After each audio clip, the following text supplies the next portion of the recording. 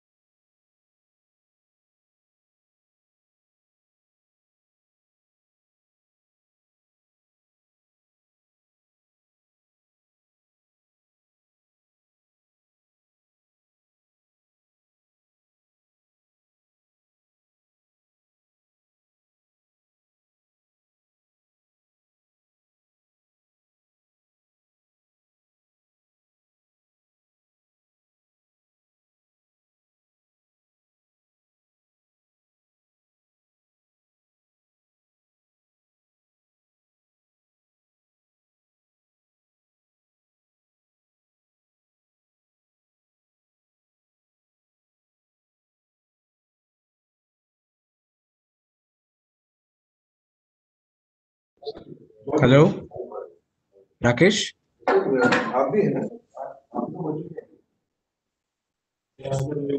बढ़िया भाई। Ashok Kapoor sir very good afternoon hello आवाज़ फ़ोटो आ रही है? सर आपका ऑडियो नहीं आ रहा है। अरे मैं बोल रहा हूँ। हाँ ठीक है। अभी आया। लेकिन हाँ, फ़ोटो नहीं आ रहा वहाँ का। Sorry your video is not coming हाँ तो वीडियो ये ये कर रखा है ना प्ले कर रखा है हमने। यहाँ पे क्लियर है सर है? ठीक है परफेक्ट है। परफेक्ट है ना? थोड़ा सी लेकिन अभी ठीक है? हाँ ठीक है परफेक्ट आवाज़ एकदम सही है एकदम परफेक्ट परफेक्ट है। अच्छा। ओके सर ऐसे बैठ जाएँगे। जैसे यहाँ पे सर पेपर भी रख देंगे अपना। हाँ थोड़ा सा। हाँ तो ठीक है। ठीक है हम्म। मैं दूर देता हूँ ज़रूरत पेपर अपना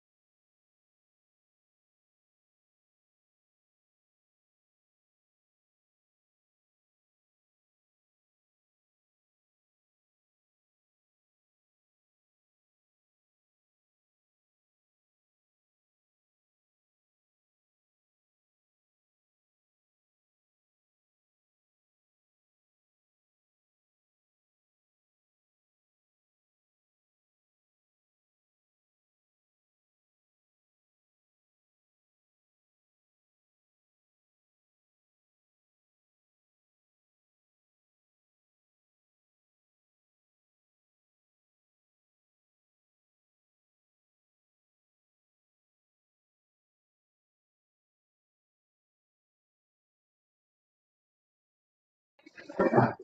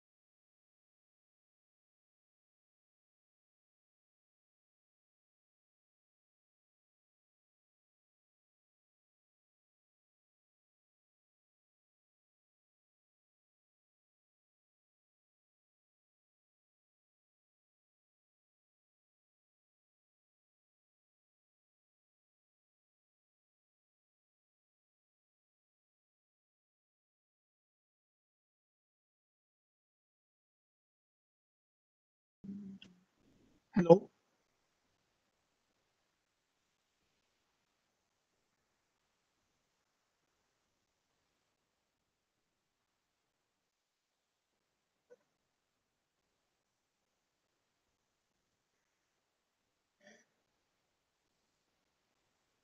वीडियो बना रहे वीडियो है sir audio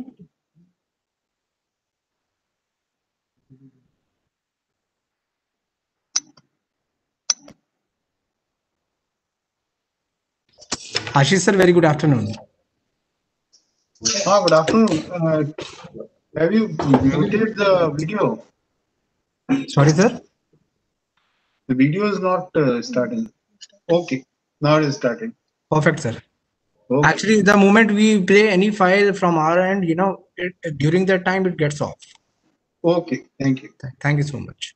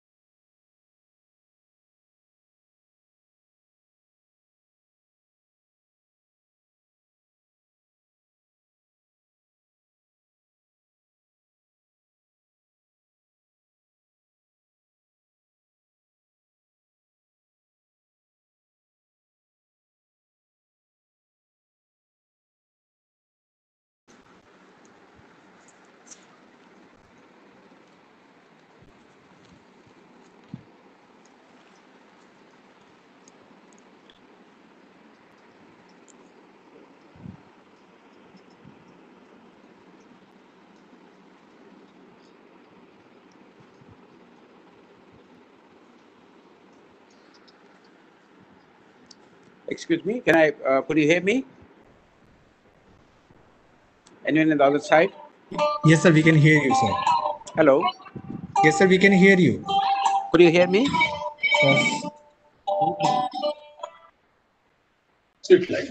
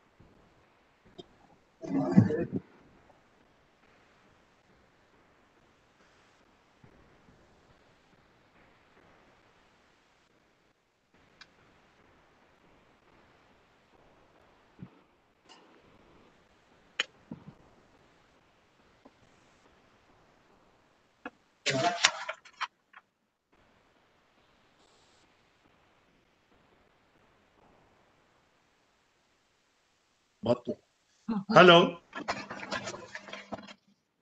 hello can you hear me sir yes sir very good afternoon can you hear me properly yes sir properly अच्छा एक मिनट एक minute.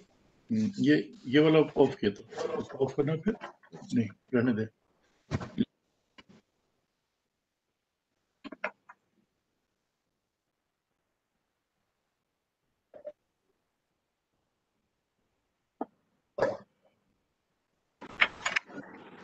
Could you hear me? Yes, sir, we can hear you, sir. Okay, thank you. Tripathi sir, good afternoon. Good afternoon, sir. But the Good pleasure, uh, uh, it's my, I'm actually Thank you. from a different place. Hope uh, my voice is fine as well as the video. Yes, yes, absolutely fine, sir. Thank you, thank you, thanks a lot. Welcome, Radhika. So good to see you. Good to see you as well. Hello, everyone. Thank you, thank you.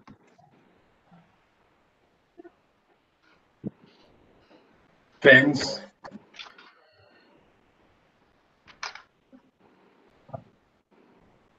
Friends.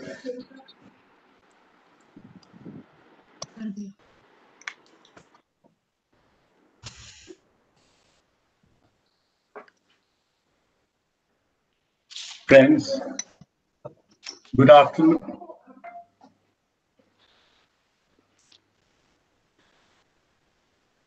Look, a minute.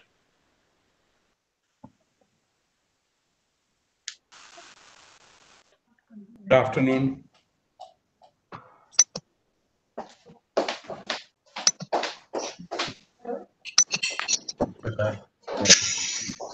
From abroad also. Good afternoon. Namaskar, ladies and gentlemen. Our warmest greetings to you as uh, you join us from here in India and from so many different countries of the world. My name is Radhika Bajaj, and on behalf of the Institute of Directors India, I'd like to very warmly welcome you all, our very esteemed and distinguished members, uh, associates, and IOD India global family to the second edition of the Directors Dialogue Series. We are delighted that today we have a very distinguished guest uh, joining us from India, the USA, UK, various parts of Europe, the UAE, Singapore, Australia, Maldives, Mauritius, Nepal, Sri Lanka, Kuwait, and so on.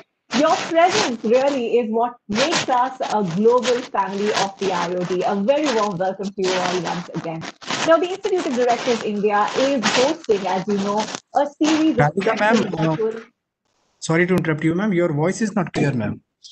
Okay, uh, let me disconnect my.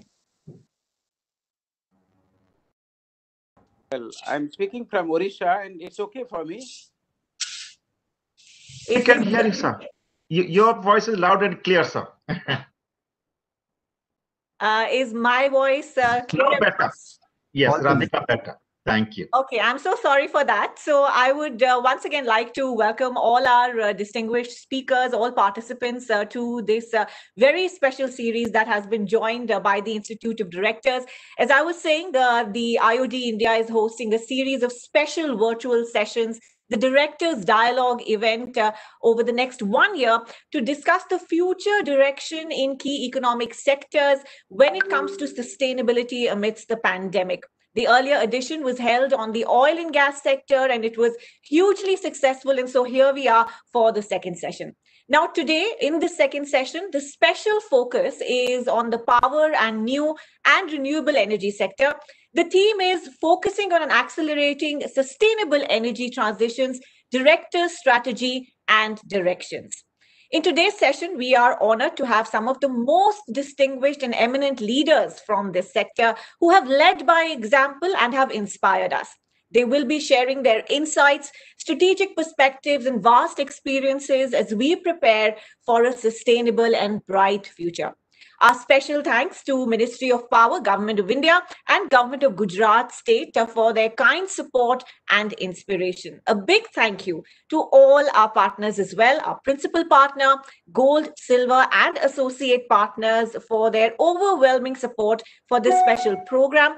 Uh, perhaps uh, this event uh, will go down in history as almost all well performing organizations in the renewable energy sector are participating with us today. So, in more than one way, uh, today it's going to be a power packed session. So, let's kickstart the proceedings really. I would very warmly like to welcome Mr. Ashok Kapoor, IAS retired, the Director General of Institute of Directors India, to deliver the opening remarks as well as welcome all our distinguished speakers today. Over to you, Mr. Kapoor. Uh, thank you, Radhika. And thank you, Radhika, and good afternoon to all our friends from India, and uh, good morning or good evening to all our uh, distinguished participants from whichever continent you may have joined. Uh, friends, on behalf of IOD India, I welcome you to today's global webinar on accelerating sustainable energy transitions in power and, and new energy sector of India. Today's theme is both literally and figuratively the burning issues of the day all over the globe. I can do no better than quote Monsieur Macron, the president of France, and I quote, there's no climate crisis, there is a climate emergency, unquote. The comment by Mr. Antonio Guterres, the United Nations Secretary General, is even more shocking. And I quote, our planet is under attack. It is seriously wounded, unquote. In selecting the theme for today, IOD is conscious of the fact that the main finding of the Commission on Climate Change, headed by Mr. Al Gore, the former Vice President of USA, is that the climate change and the solution to global energy sector needs not debate or discussion, but concrete action here and now. Uh, Mr. Al Gore, we have only one planet. There is no plan B.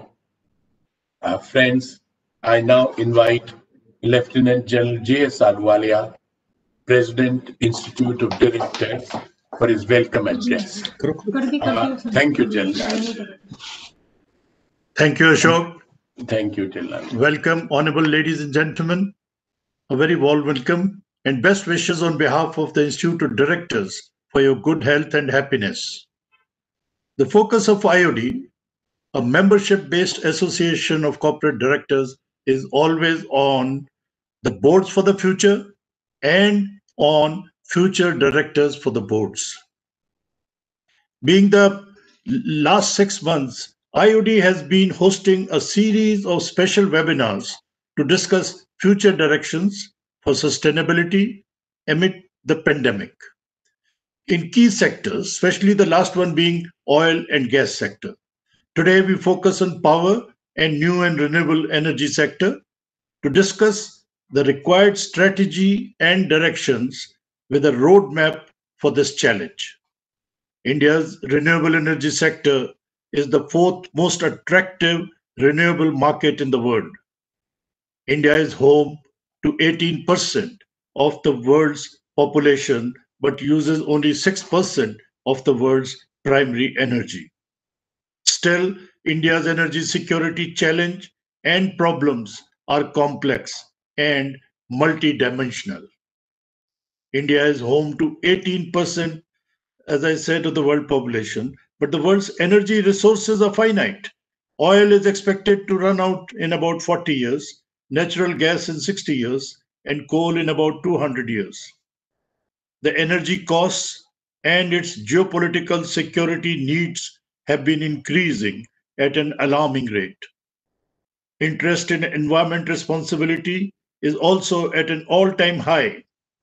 The world is facing various energy risks. The energy supply lines need to be secure from geopolitical risks. The power trading has come to stay as a hedge against the financial losses and to smoothen the flow of power. The long term energy security hinges on the development of renewable energy sources and technology to harness them into commodities.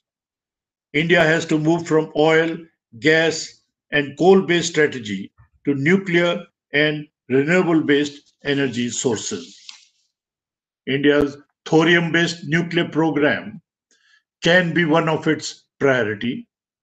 The world has made great stride in increasing energy efficiency. In India, energy efficiency continues to be a priority for all organizations to become more cost competitive. There is, I would say, 10 to 30% potential of energy saving in any organization. India has a huge market potential for renewables. Renewable energy has matured, is environmentally sustainable, and provides energy access, especially under the decentralized mode. The future potential of solar energy is almost infinite. The solar energy can specially provide electricity needs of over 360 million people of India who are living off the grid. The solar power tariffs have already hit a record low of rupees 2.49 per kilowatt hour, which is below the cost of conventional power. The Government of India has set up an ambitious target of 175 gigawatt of renewable energy by 2022. Our solar parks have attracted good interest from global investors, and we are confident of crossing this target. I'm sure our valuable speakers today will bring various options for a winning strategy and a roadmap for India's energy security. I wish you all the best. Thank you.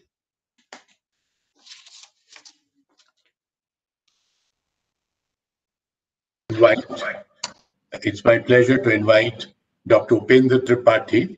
Uh, friends, Mr. A.K. Tiwari is held up with the Honorable Minister. Uh, I extend a hearty welcome to another thought leader and renewable energy expert, Dr. Upendra Tripathi, Director General, International Solar Alliance, and former Secretary, Ministry of New and Renewable Energy. He has made exceptional contribution towards achieving 175 gigawatt target and for ushering in policies that transformed India's renewable energy sector between 2014 to 2016.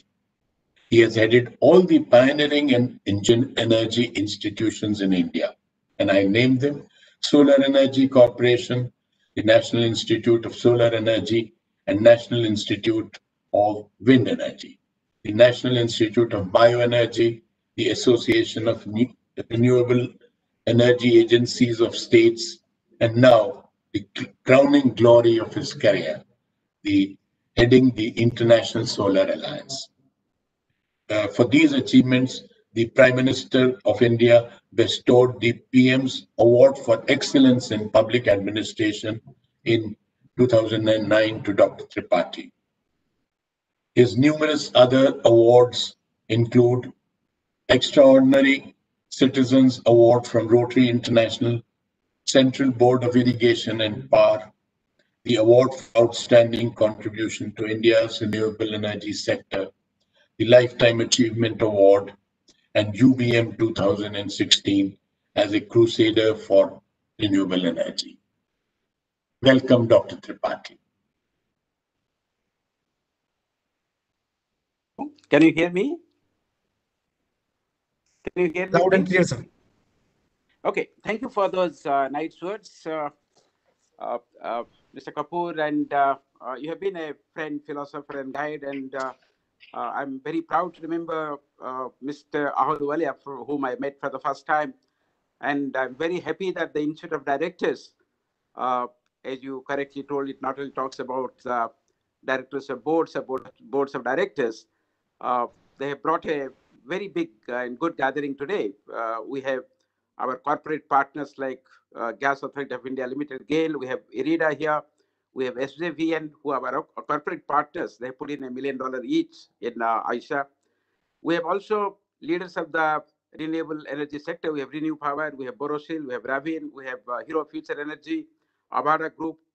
Uh, and this is a good uh, uh, uh, gathering. And we have, of course, the dynamic, uh, the financial advisor power ministry. In fact, without finance, renewable energy will not move. And I know Mr. Ashish Upadhyay, who has been doing you know excellent work, and Radhika Jha, of course, who is shaping the renewable energy and energy policy in Uttarakhand.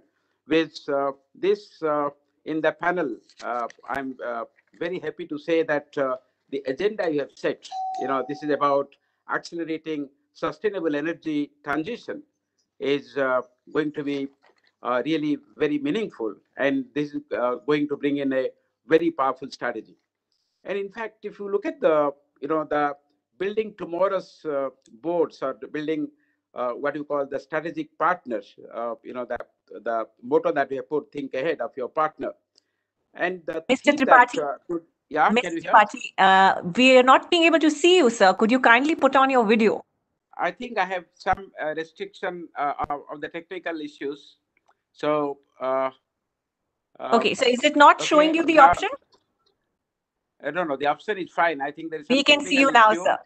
Okay, good, good. Uh, it says I reached my video capacity or something. Uh, so they, uh, you know, how to accelerate uh, sustainable energy transition. Uh, the International Solar Alliance plays a very important role in this.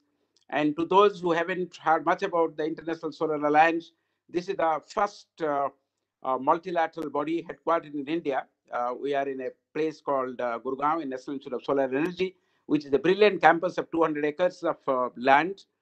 And uh, and uh, uh, we have right now around 89 countries who have signed the framework agreement. About 71 countries have ratified.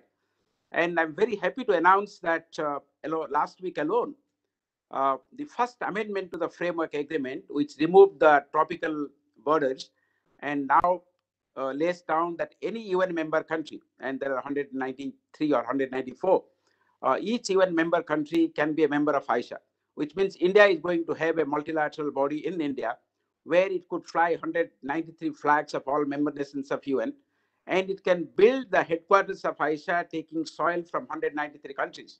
It's going to be a unique office. Now, it is not only a unique office, you know, it's a unique office in the sense that, uh, in order to have this energy transition that we are talking about, you know, it has launched seven programs. And uh, uh, I'm not going to deal with uh, programs, which is boring. Of course, they deal with, you know, very practical issues like uh, solar pumps, uh, the mini grids, rooftop, uh, solar vehicles, solar cooling, solar storage, solar parks. But the main theme is that all these programs and the projects that uh, ISA promotes, they aim at the energy transition to make energy more sustainable and more uh, affordable. But uh, there are certain things ISA is unique in doing. No other UN agency or multilateral body does. And uh, and that unique thing that International Solar Alliance does, and that is where I think entire industry can take help. And ISA and industry are very uh, close at work. A, we have a corporate partnership uh, uh, uh, uh, scheme where uh, we have 16 to 17 corporates who have put in $1 million each and they are corporate partners. So we sit together and strategize as to how we can actually accelerate the sustainable energy transition in the globe to address climate issues, address climate equity issues, climate justice issues, issues of technology, and issues of investment. Uh, and the second thing that we do, uh, we facilitate how to create a market for the industry. Now, I'll give you two examples what we have done, how actually we are creating a market for the industry. A, to all the all member countries, we addressed a simple letter to the ministers. Would you like to give solar pumps to the farmers? We got replies. We aggregated the you know answers we got, and we added. We found that we had got the request from 22 countries, and the request was for 272,000 solar pumps. We took help of EESL. We went for a global tender, and I'm very proud and pleased to say that for the first time, a multilateral agency dealt with a global tender and brought down the price by 40%. Ultimately, we had five companies, four from India and one from Denmark, whom we empaneled and then send those letters to the countries in order to, you know, avail finance and uh, pumps. And the second example, which is uh, in uh, on course, is uh, taking help of EESL. We just tendered for 47 million. We call it home power systems. Now, as you know, there are 750 million people without access to elec electricity. There are 2 billion women who have uh, no access to clean cooking medium. There are 3 billion people who have no clean access uh, to uh, clean drinking water. And uh, World Bank has come and said that the end of 2030, which is the you know the universal deadline for achieving everything that we desire for, still 700 uh, million people will be left without energy access. And that is where ISA uh, come in. So the point that I'm trying to make that in these practical things that we're promoting, the programs that we are floating, our sole uh, uh, aim is to create a market so that these areas of darkness can be lighted up. Now, when I say the areas of darkness, you know, one is of course lack of universal energy access. We are talking about uh, uh, you know uh, uh affordability of energy and sustainability of energy sources, mismatch between supply and demand. Now, to address those universal issues, again, to you know, going with the industries together, the two examples I gave is you know are the examples what we have done: the solar pumps and the 47 million of home power systems to be auctioned to be tendered every year for next five years, and that makes it roughly 250 million LED bulbs and around uh, uh, 250 million, uh, uh, you know, home power systems, which talks about, you know, uh, home lighting systems. It talks about solar refrigeration. It talks about solar fans, and of course, it talks about solar uh, televisions. But the two other examples that I am going to give you, which are, you know, which are in a state of discussion, one is something called the World Solar Bank. We find that despite 150 billion dollars coming to the solar market, it doesn't go to the member countries who need it most or to the industries who need it most. And the access of capital from the industry to the multilateral banks is through the sovereign countries, which puts a lot of constraints in terms of accessing those capitals. So in the World Solar Bank that we have proposed, and what the last assembly did, they appointed an international steering committee having France, India, uh, the UK, the Netherlands, we have uh, Fiji and uh, uh, uh, Cuba, we have uh, Nauru, we have Guyana, and this international committee is meeting shortly to address the issue of the framework of this World Solar Bank and of course the headquarters.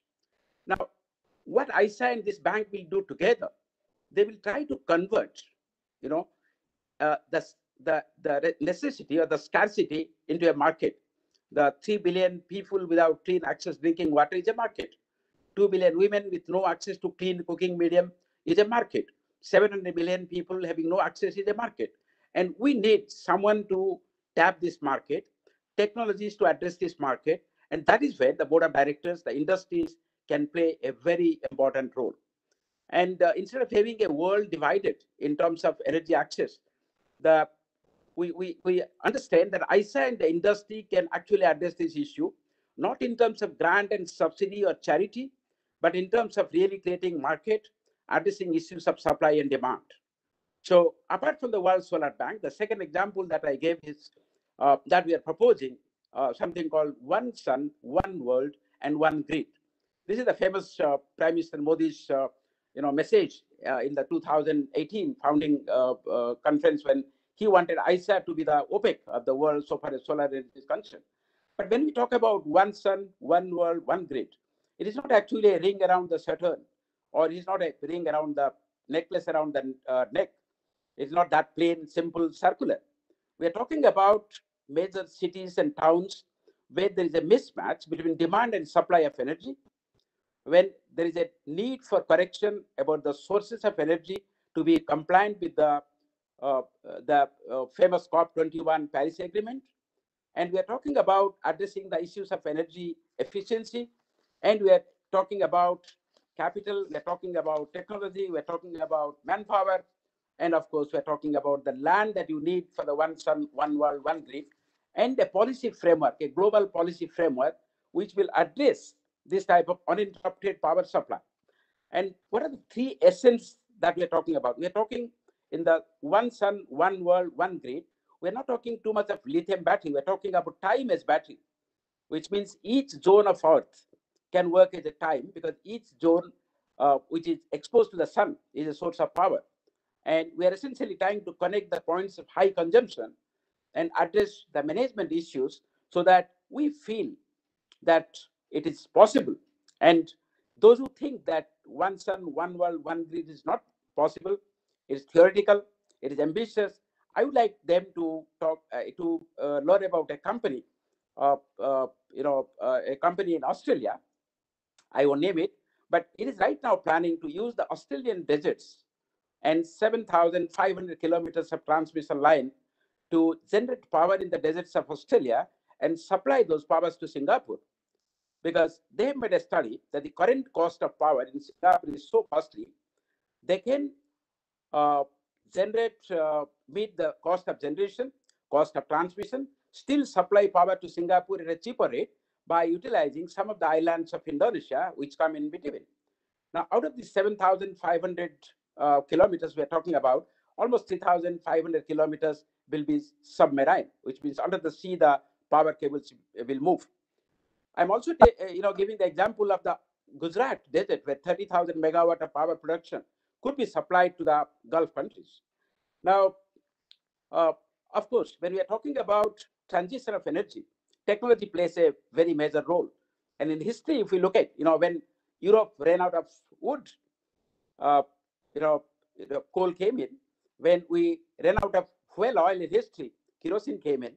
So it is a question of, you know, continuous play between the industry, the demand and supply from the society, the type of research and technology that we do. So I'm sure the role that Institute of Directors plays, which is which I adore and respect and uh, I admire, that this is the bed where directors dialogue really plays an important role. And some of uh, you know most of you must have read about this book Republic by Plato, which talked how dialogue played a role in the Socratic sense of epistemology or science of uh, knowledge. Essentially, you say something, you contradict that, and you come out with a essentially mixed conclusion or a synthesis conclusion. And from Socrates, you know, it went right up to Hegel, then to Karl Marx, where he talked about thesis, antithesis, and synthesis.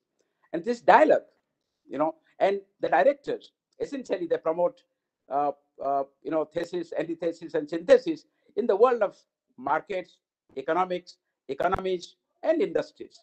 So when we are talking this dialogue of taking to energy sustainable uh, transition of energy, sustainable transition is a meaning that the carbon budget that we have must come down.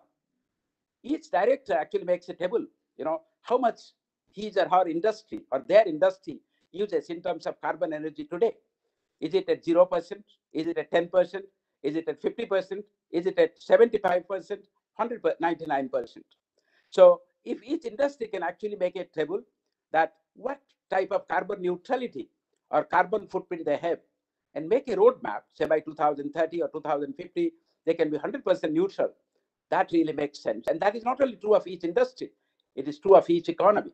And it's true of energy transition. When we switch over from biomass to coal, at some point, the entire power from coal was only 1% of global energy demand. But from 1%, at some point, it moved to 99%. And today, that is the story of solar. That is the story of wind.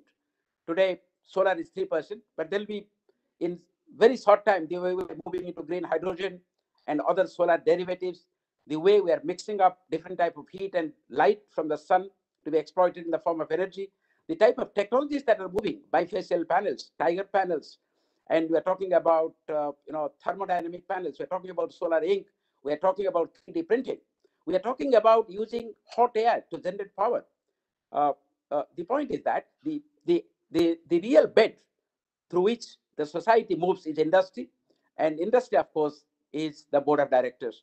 How imaginatively we play and how we actually, you know, meet the demand of society, how we shape, how we dream. The dream of the directors actually shapes the dream of the society, and they're interlinked. They're absolutely interlinked. And ISA plays the critical role of bringing the industry and society together via the solar. And uh, I'm again, once again, I'm very grateful to IOD, uh, particularly Mr. Kapoor and uh, Mr. Ahluwalia, whom I know for decades, and I admire their efforts for you know bringing such dialects.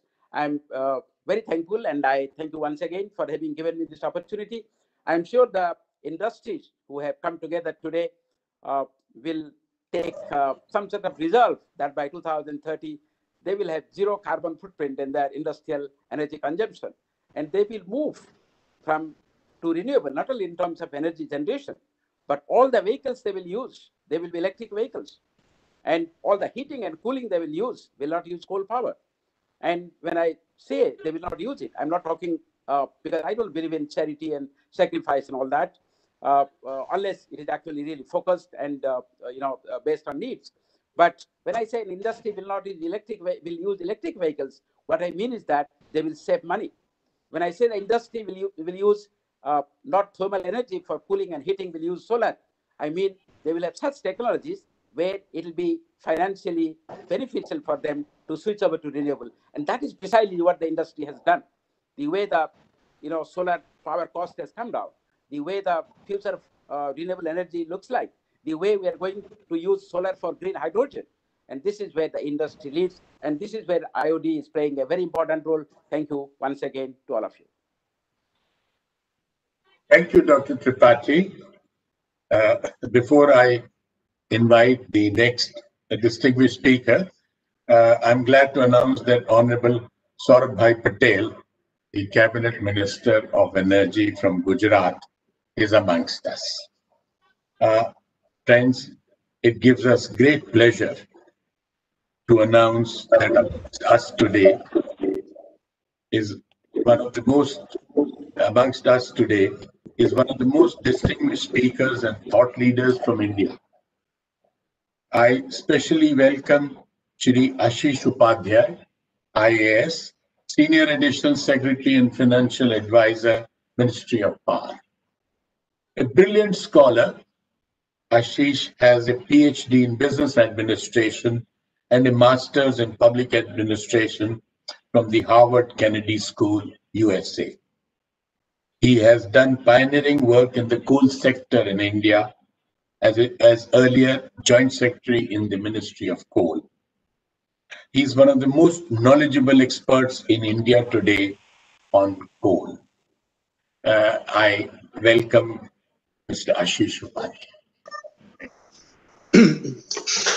Thank you, Dr. Kapoor and uh, fellow panelists. I consider it as a privilege that this opportunity is being given to me. I'll try to give a scenario, a broad scenario of how power sector is unfolding itself in India. And then I'll leave some questions for you to decide how the future course of action should be.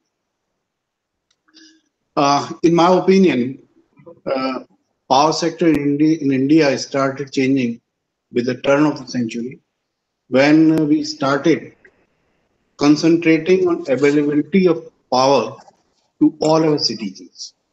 The first challenge, of course, was generation. In first and second decades of this century, we worked tremendously on it. And now, fortunately, we have reached a stage where, if not in uh, surplus, we have self-sufficiency in power. In fact, we have a generation capacity of 375 gigawatt in comparison to the demand. Maximum demand incidentally was recorded yesterday, which was 186 gigawatt. It's a good thing that we have got excess capacity, but at the same time, it poses a challenge before us. And the challenge is that we have to give fixed cost to maintain this generation capacity, additional generation capacity, which puts a load on the cost of electricity in the country. It makes it slightly costly. When, if you look at Western countries, there generally the capacity is 60 to 70 percent lower than what we have, and they meet the demand more efficiently. So we'll have to work in, in increasing efficiency if we want to lower the cost of the electricity which is being supplied in the country. Second factor in electricity supply is generation. Fortunately, last two decades we have worked well, and now we have got capacity to transform uh, to transmit any amount of energy being produced in one part of the country to the other part. Solar or other renewable energy being site specific. We require we had to require this strengthen strengthening of the transmission system where the demand is and where the generation is taking place. Today, fortunately, we are in a position where it is fully met and there are hardly uh, any instances of long congestion or much congestion. More or less is. But this does not make us satisfied that we have got enough energy, we have got enough generation uh, transmission capacity. Even then, there is one sector which is particularly becoming a tough area for us to challenge, and that is transmission. India's biggest challenge in uh, energy sector is transmission. Uh, sorry, distribution. Distribution is mainly done through state discoms, and state discoms have got their own challenges. In Electricity Act 2003, it was envisaged that discoms will be at arm's length and will be a commercial uh, entity. They will be at arm's length from the state government. But somehow, in last 17 years of working of this act, we have not been able to achieve that objective. And there are a couple of issues which ails the discom and in the in turn affects the energy sector in the country. One, of course, is poor metering and collection network. And that leads to ANT, uh, AT&C losses. We all know the AT&C losses are quite huge and uh, different attempts being done in the past have not been, we have not been able to uh, get it at the trajectory where it wanted it to be. In Project UDAY, we wanted to take it to less than 15% by 2018-19, but it is still higher than that. And of course, ACS and ARR gap is also quite high, and discoms have not been able to sustain supply at that uh, with the gap increasing.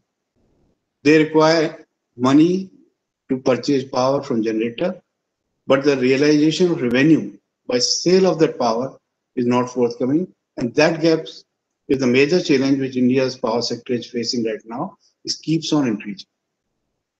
In the beginning of COVID crisis, the major challenge was to keep the power flowing.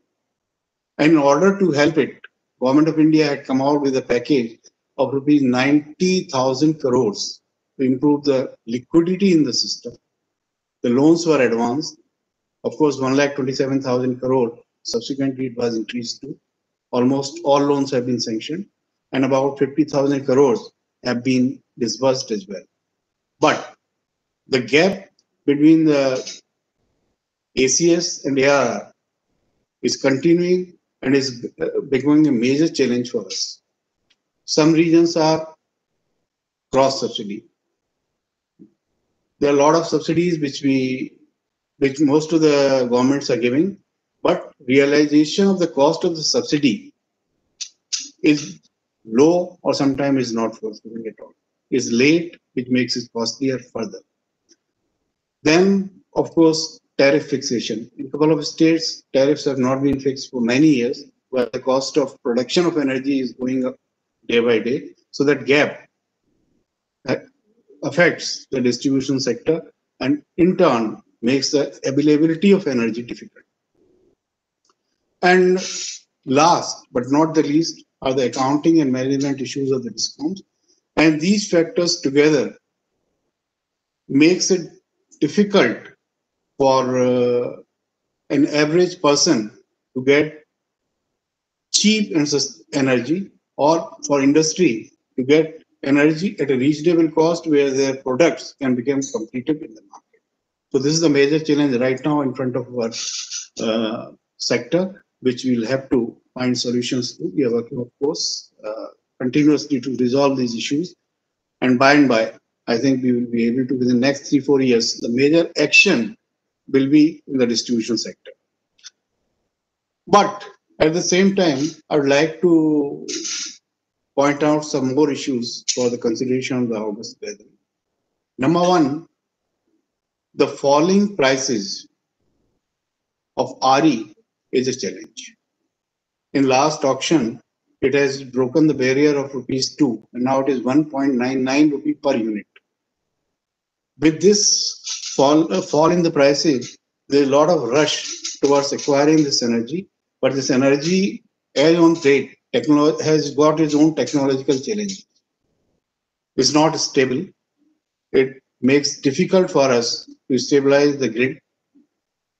And that is why we have to work how to store this energy. Till the storage mechanism comes in place, it can help only to a limited extent. Of course, uh, Mr. Tripathi talked about the one globe, one sun, one grid concept. It's a beautiful concept. It will work, and if it if we are able to achieve it, it will certainly help us in lowering and the cost of the energy and making it affordable. Because in our country we have reached at one rupee ninety nine paisa per unit, but in middle uh, mid east it has reached almost to be one per unit. So if we can link through underground cables to see our generation, our consumption centers to the energy being generated there, it can help us in uh, solving the problem of getting energy at a cheaper and affordable price. Then, of course, the second trend, which is visible with this drastic fall coming with the renewable energy, is that the PPA regime is under acute threat. All the discoms had power purchase agreements which run for 15, 20, 25 years at a higher price. At that time, 4 rupees, anything between 4 to 5 rupees. With the coming of this new energy at 1 rupee 99 paisa or 2 rupee 30 paisa or 2 rupee 50 paisa, the overall available energy prices are falling down. So states are hesitating in going and binding themselves with long-term PPAs. That's good. That makes sense. And ultimately, it will uh, we will have to move to that direction only, and most of the energy will be traded through energy exchanges. But in turn, it is, it is bringing another problem, and that problem is the problem of financing the sector. If there are no long-term PPA, bankers and financial institutions are not willing, they're not forthcoming to finance the sector. And it will lead to stagnation until unless we come with a acceptable formula, acceptable solution, which satisfies all stakeholders, we'll have some uh, roadblocks here. Another factor which is now coming into picture of in last one year or one and a half year, that is some of the stranded generation units have gone to NCLT and NCLT has given a resolution almost as a half of the cost of the original estimate of that uh, generating unit. This has resulted that all these resolved units now are claiming the fixed cost as the resolved uh, prices, which are much, much cheaper than original cost. So in turn, the energy is becoming cheaper and in merit order dispatch, their energy will come first what will happen to the old working power stations? That is a challenge. For that, we'll have to find out some solution. We'll have to resolve it somehow. Now, last but not the least, in our journey so far, the last attention, the least attention has been on the one who sustains this whole sector, and that is consumer. Fortunately, Government of India has come up with a consumer citizen uh, rights charter, which was declared on 31st December 2020, and we hope then gradually we will try to put consumer in the center stage. We'll try to uh, give him not only round the clock energy, but we'll also try to give him choices. And once we start working in that direction, certainly this, not only the citizen of this country, but also all those players who are involved in supply, in transmission, in generation, or in any other way with the sector, they will get benefit. I'll stop here. I'll again thank IOD to give me an opportunity to speak. And I hope our discussion will try to find out solution to some of the challenges which are emerging in the sector. Thank you. Thanks a lot. Thanks, Ashish. Uh, I now have the pleasure of inviting uh, Mrs. Radhika Jha, Secretary to the Thanks, Ashish.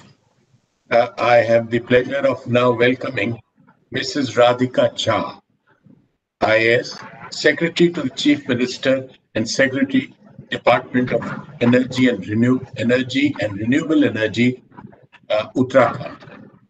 She has a master's in organizational behavior from the Delhi University and certified national level leadership trainer for public administrator by the Center for Creative Leadership USA. She has received the highest state level award for excellence in good governance in 2020.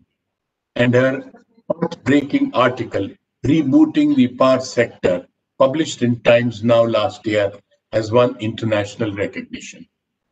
Radhika has initiated Chief Minister's Good Governance Awards to recognize commendable work at all levels.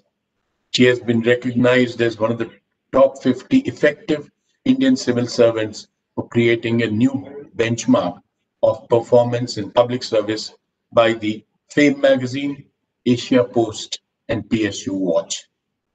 Radhika is the author of Solar Energy Policy 2018 with the aim of green power generation and livelihood enhancement in the hilly terrains in India. She has implemented first ever power generation from Pine Needle Policy 2018. She is the only lady specialist in India's power sector to be the chairperson for all three state power corporations, in addition to being the Secretary, Energy and Renewable Energy Department. Radhika Friends has not only broken the glass ceiling, but smashed it to smithereens. Welcome, Radhika. Thank you so much, sir. So am I audible? Yes, ma'am. Okay. Thank you so much. Uh, I would like to, at the outset, convey my gratitude to Kapoor sir and to this director's dialogue which has been initiated. I am humbled by the introduction, sir. It was just part of my duties which I was discharging in this sector and in my assignment in the civil services. I would like to also greet the esteemed panelists. Uh, Upadhyay sir is here. There are other panelists also who are distinguished in this sector. I would like to convey my heartfelt gratitude to all of you, sir. Uh, so just uh, I was hearing Upadhyay sir, uh, and I think sir has raised very relevant issues about the sector and how it can be made sustainable, sir. Uh, with my experience of this Himalayan state, I worked for a brief while uh, with the central government as well. But considering my experience over here, sir, there are three, four constructs which I wanted to share uh, with the esteemed panel over here, sir. First, of course, sir, the order of the day, which I feel is going to be the RE sector. And this is what I also wrote last year, that we have to reinvent ourselves to focus on RE in all forms, whether it is hydro, solar, or any other form which is unconventional. But so there are a lot of issues in terms of grid connectivity, a lot of issues in terms of sustainability. Hydro sector particularly has seen a decline over the last couple of years.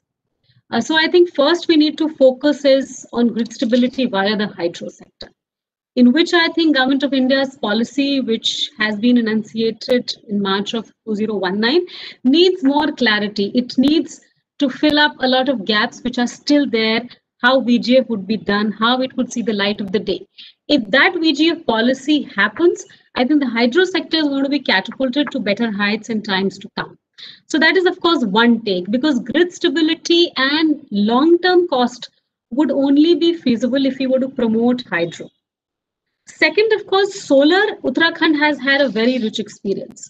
We have allocated around 203 megawatts, just to share the personal experience, in the hilly terrain we need to focus on retaining our agricultural land you know to begin with a lot of states i think are doing the mistake of also doing solar on productive lands. Our state has taken a view. We would do solar on wastelands or in the higher reaches where agriculture or any kind of productivity is really not possible. So i think this is one thing which we all need to look at as stakeholders in this uh, space. That we also need to have a foresight in terms of how we want to, uh, you know, balance the entire sector vis-a-vis livelihood, food security, etc. So this was one thing which we have been focusing upon. Uh, in the COVID economic crisis which has emerged across the world and the country, Uttarakhand has uh, made a new scheme called CM Solar Swarozgar Yojana, so that's in Hindi, which just says that anyone could do solar farming and government is going to buy that power from them. And we would, of course, also subsidize them up to 35%. So which has been very interesting and it has seen a lot of appreciation from our people because people really had livelihood crisis in, in these times. So this uh, uh, scheme of ours has helped us reach out to the last man who could put a little solar 25 kilowatt plant and uh, do livelihood generation likewise. So I would like to urge that we need to look at RE and look at livelihood together. We have to look at the entire sector space and understand how livelihood could also be dovetailed into this. So like we in Uttarakhand talk about green economies you know, where there is, of course, focus on green power generation by hydro or solar. And of course, we look at how economic uh, livelihood could be enhanced. In Uttarakhand, we have also made the pine needle policy, which is one of a kind, and the hilly states could actually adopt this policy. It is interesting because pine needle leads to a lot of forest fires. It also spoils the ecology to a large extent. So if these pine needles are collected, we have a gasifier, I mean a basic gasifier, converts it into power and we feed it into the grid.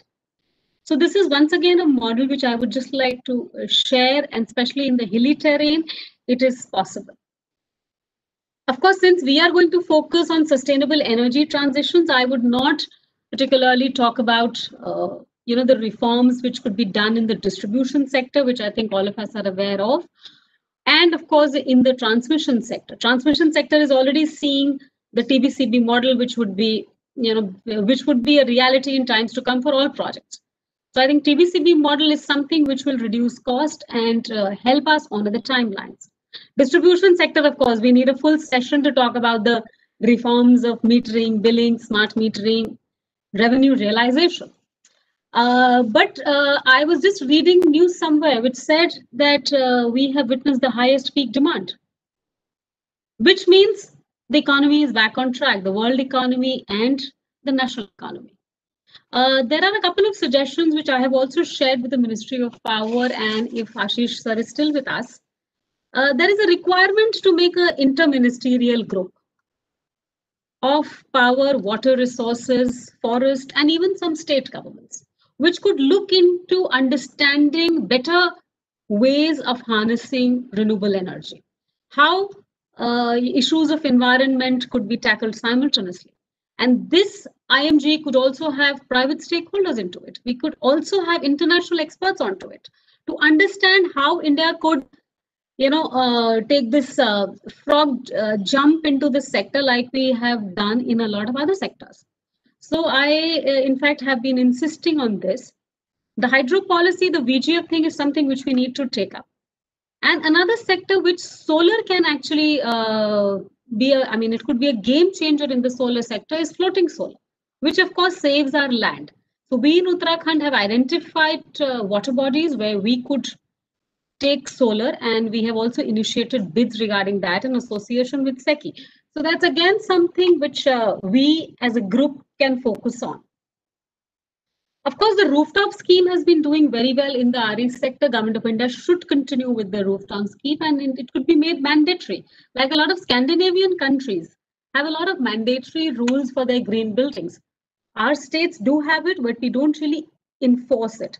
So I think the need of the hour is to also enforce that, which of course uh, can uh, make the energy sector viable in its own way. In Uttarakhand, uh, I would like to share, I, I should not run out of time. Uttarakhand, we've also made an interesting model of assembling LED lights, okay, by using women self-help groups. So when we are talking of RE, accelerating the sector, we need to take a holistic view.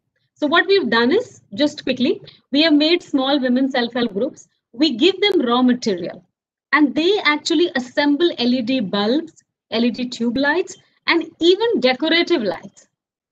So what is happening is we are able to cater to the local market and we are also generating employment for these women folk. This has been identified as a good practice even by the ADB and they are also planning to fund us on these two, three practices. Uh, regarding the capex requirement in this sector, I think it is important to tap the EAP funding because a lot of state governments are I mean, they know that they need that kind of strengthening into the sector, but they really don't have that kind of bandwidth.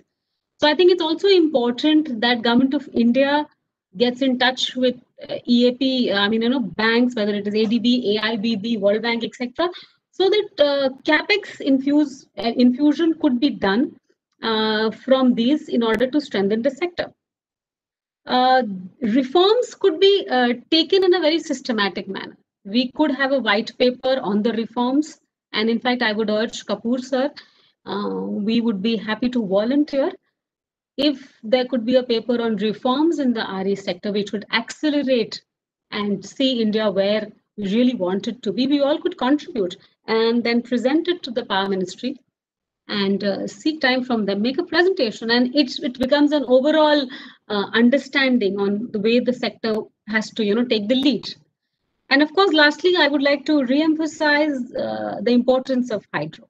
We have been talking a lot of solar because the rates have been reasonable and it has been uh, more lucrative to get into solar now. But finally, we will have to look at more sustainable options. Uh, so my, of course, suggestions would be that the chain entirely needs to be integrated. And this IMG, if, if it happens and we get into making a white paper and presenting it to the ministry, I'm sure the voice of all the stakeholders, whether it is uh, this forum or the private sector, we all could uh, make a point and it could be a win-win situation for everyone. Uh, I am open to questions, if any, or suggestions, if any. Thank you so much.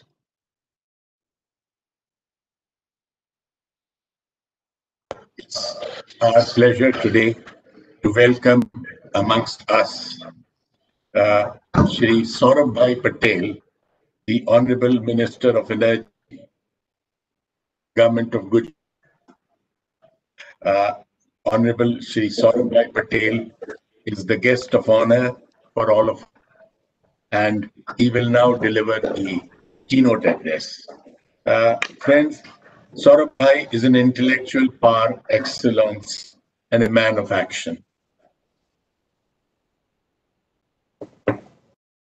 current Gujarat Global Model Meets, which is one All India recognition.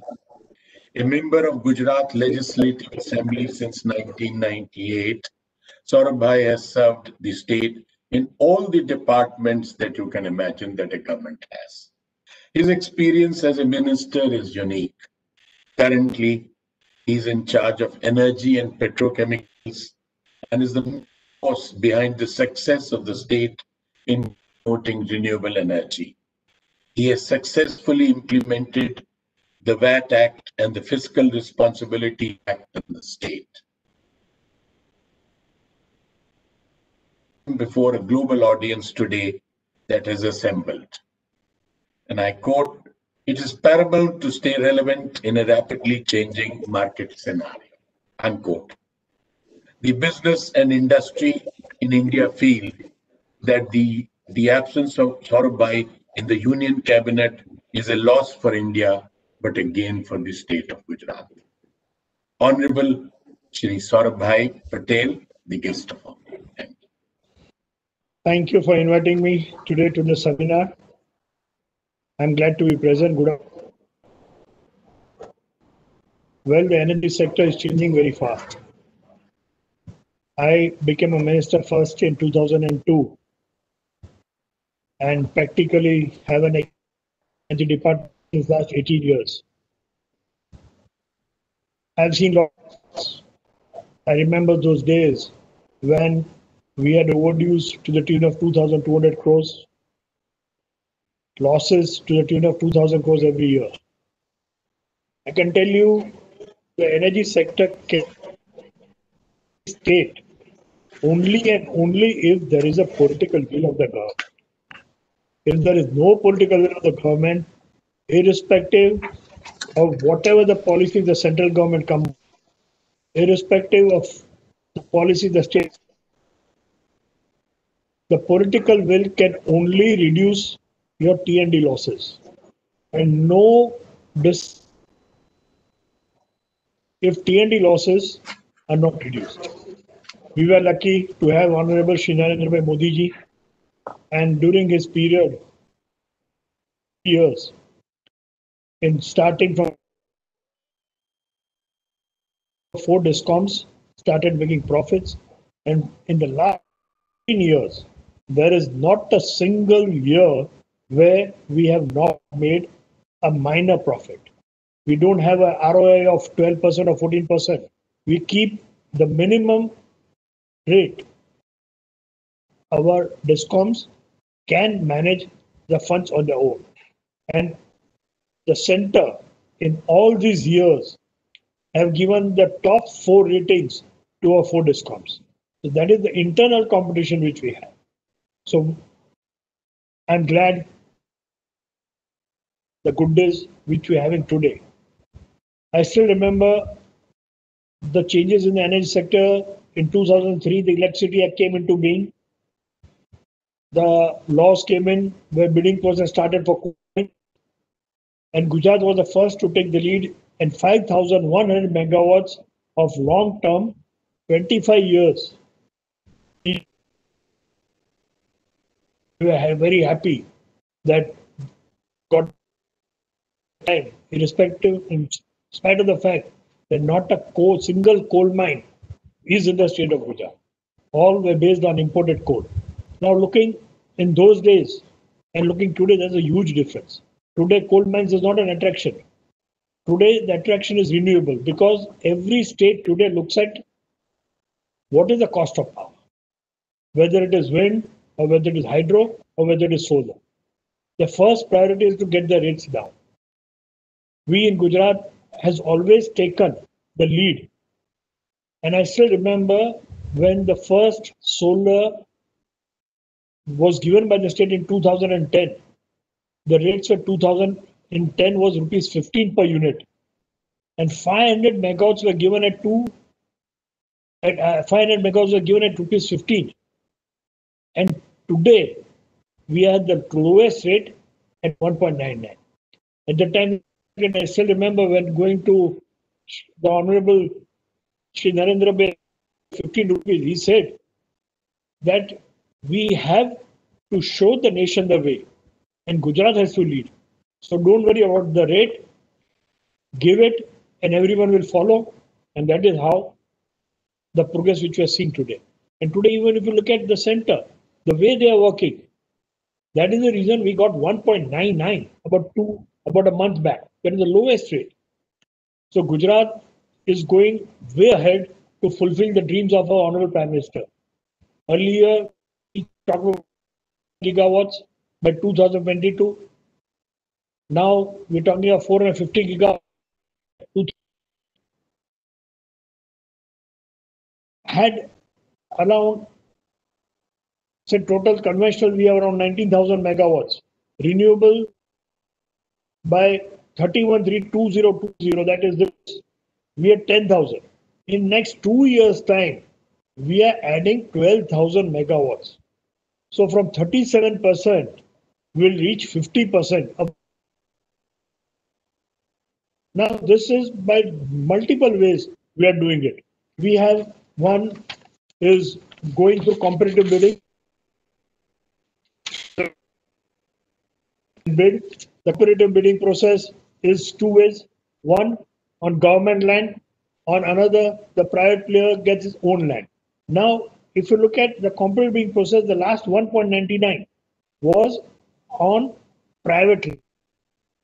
So the selection was done by the private player and on 1.99 rate on a long-term PPA signing. Bucks. On government land like Radhanesra, Dholera, we bid. So today we have bidded for 4,650 megawatts. And I expect this 4,650 private players and government Usually our PPA, one sign, is completed in a span of 15 months. So even if the PPA takes some time after the the total process will be completed in maximum span of two years. Now, uh, what I should share with you is we have very aggressive as far as small solar capacity are concerned. Say from 500 kilowatt to 4 megawatts, nearing a substation the came was 2.63. So we have come out with a policy plus 20 paisa which we give, which has been approved by the regulator. On 283, we gave an ad in the newspapers and we received 12,000 applications, total 8,000 megawatts next to the substation completed in the next 12 to 15 months after signing of PPA. I expect that out of the 8,000 megawatts, at least 4,000 to 5,000 megawatts will materialize at the rate 2.83. Now, this rate is valid till 31st March because the new rates will be 2.20. Now, in this 283, it is comfortable with us because it, we don't have to pay any transmission charges. It is on 11 kVA, 66 kVA, and it is where the usage of power is. So no transmission cost or no new substations have to be erected by us. So this is something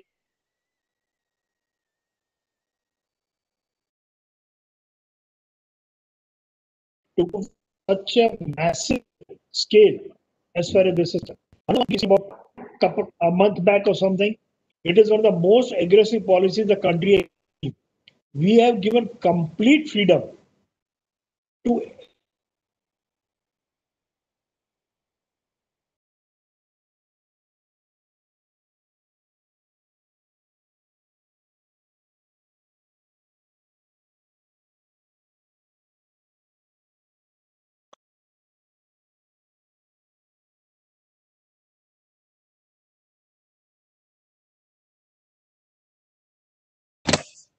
Sir, we are unable to hear you, sir.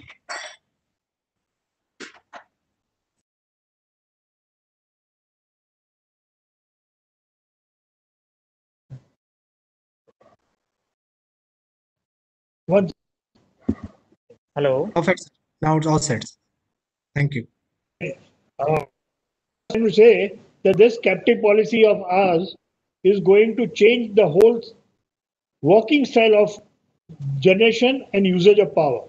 Anyone can generate power, use the power, and sell the power which is remaining. So what will happen? Every manufacturing unit, LT or HT, can generate as much power as they want. If there is any power remaining, he will sell it to us at a fixed price. The price will be 75% of the last bid. So that means he is making money captive generation which he's using. He's not making money on his. This is one thing which we have done. Second thing, collective ownership. That like housing scheme. The way the housing scheme comes up, builds houses and gives it to the residential. The same way a group of people or a developer can develop 500 kilowatts, one watt, and give it to captive, sell it to them, and they can use it for their own purpose. So when there is a complete change, so what we expect that a lot of rooftop, practically warehouses, and everyone will be starting generating of power, using the power, and selling the remaining to us at a cost which is 25% lower than. So GUVNL doesn't have to lose money on that. The excess, if it's drawing during night or during the daytime also, he will be generating, he will be paying at the existing rate. So that is one thing. Introduce banking charges. We have introduced that the fresh. He has to pay the banking charges. He doesn't have wheeling charges would be applicable as per GERC. Surcharge or by the captive consumer. So we expect our industries to grow. A saving of rupees 2 to rupees 4 minimum for captive users is foreseen. And that will bring in additional generation of power, additional uh, VAT or GST, additional employment, additional production. So this is what we are doing on a very big scale. Another one thing which we have done is largest solar renewable park in the world. Our Honorable Prime Minister just laid the foundation stone. 60,000 hectares of unused land lying in Kutch, next to the uh, border of Pakistan. 30,000 megawatts is our target to generate from this, the largest anywhere in the world. The transmission network is going to for at least 50 to 60,000 power to be taken outside the state. 30 40% power will be used in the state. So this is also one thing. And I think we'll do it in next 10 years. Massive infrastructure is being created by the government, like roads, transmission is also going to be planned in a big way. But our objective is that in the next 10 years, this thing would be done on this 72,000 hectares of land. So always take the lead. But what I personally feel is that changing very fast. No one had visualized in 2002 what the roadmap is going to be. I personally think also that whatever healthy discussions which we're having today, maybe 10 years down the line, technology will move faster thoughts. And because the moving, the, the, the technology which changes very fast, I think the days are not far where complete usage would be at, I mean, complete generation would be at the usage level. We won't be requiring much of transmission networks at that time. A lot of storage capacities might come in also, so we can resolve that uh, huge uh, problem. Today, the wind capacities using a lot of transmission network also, the generation, solar generation also using a lot of transmission network. We have come up, one unique thing which we also come up is, we have 83 million units during days, by the farmers, every day. We are transferring this 83 million units completely during daytime. We are spending 3,500 crores on infrastructure on transmission, building up that additional transmission network. Daytime to the farmers. So we expect that in the next five to seven years, lot of solar generation will come up. And because of the solar generation coming up, the cost of power of solar will be much less, even in the exchange. So we can use it cheaper for our farmers. Because today government of Gujarat is spending 8,000 crores as subsidy every year only for the agriculture farmers of 18 lakh farmers because the water tables are very low. So we have started out of 80 villages have been converted during daytime and in the next two and a half years by spending the 3,500 crores on infrastructure, we'll complete our total giving day power to the farmer. So these are the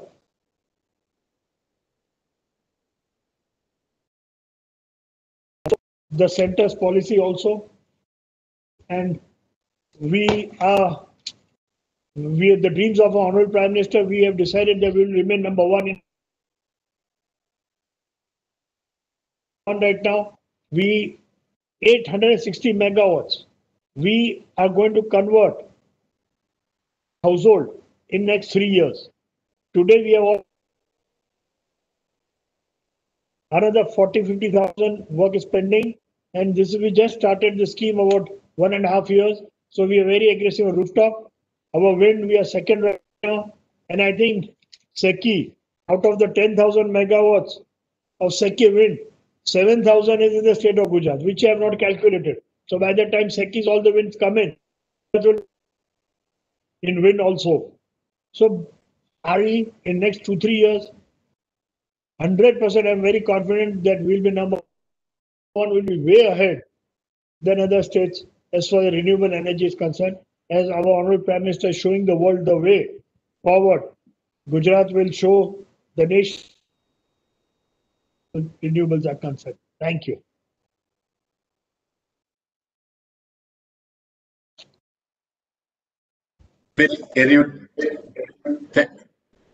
Thank you, sir. That was a very erudite keynote address. We are thankful to you also for the large-scale participation of the Gujarat government today.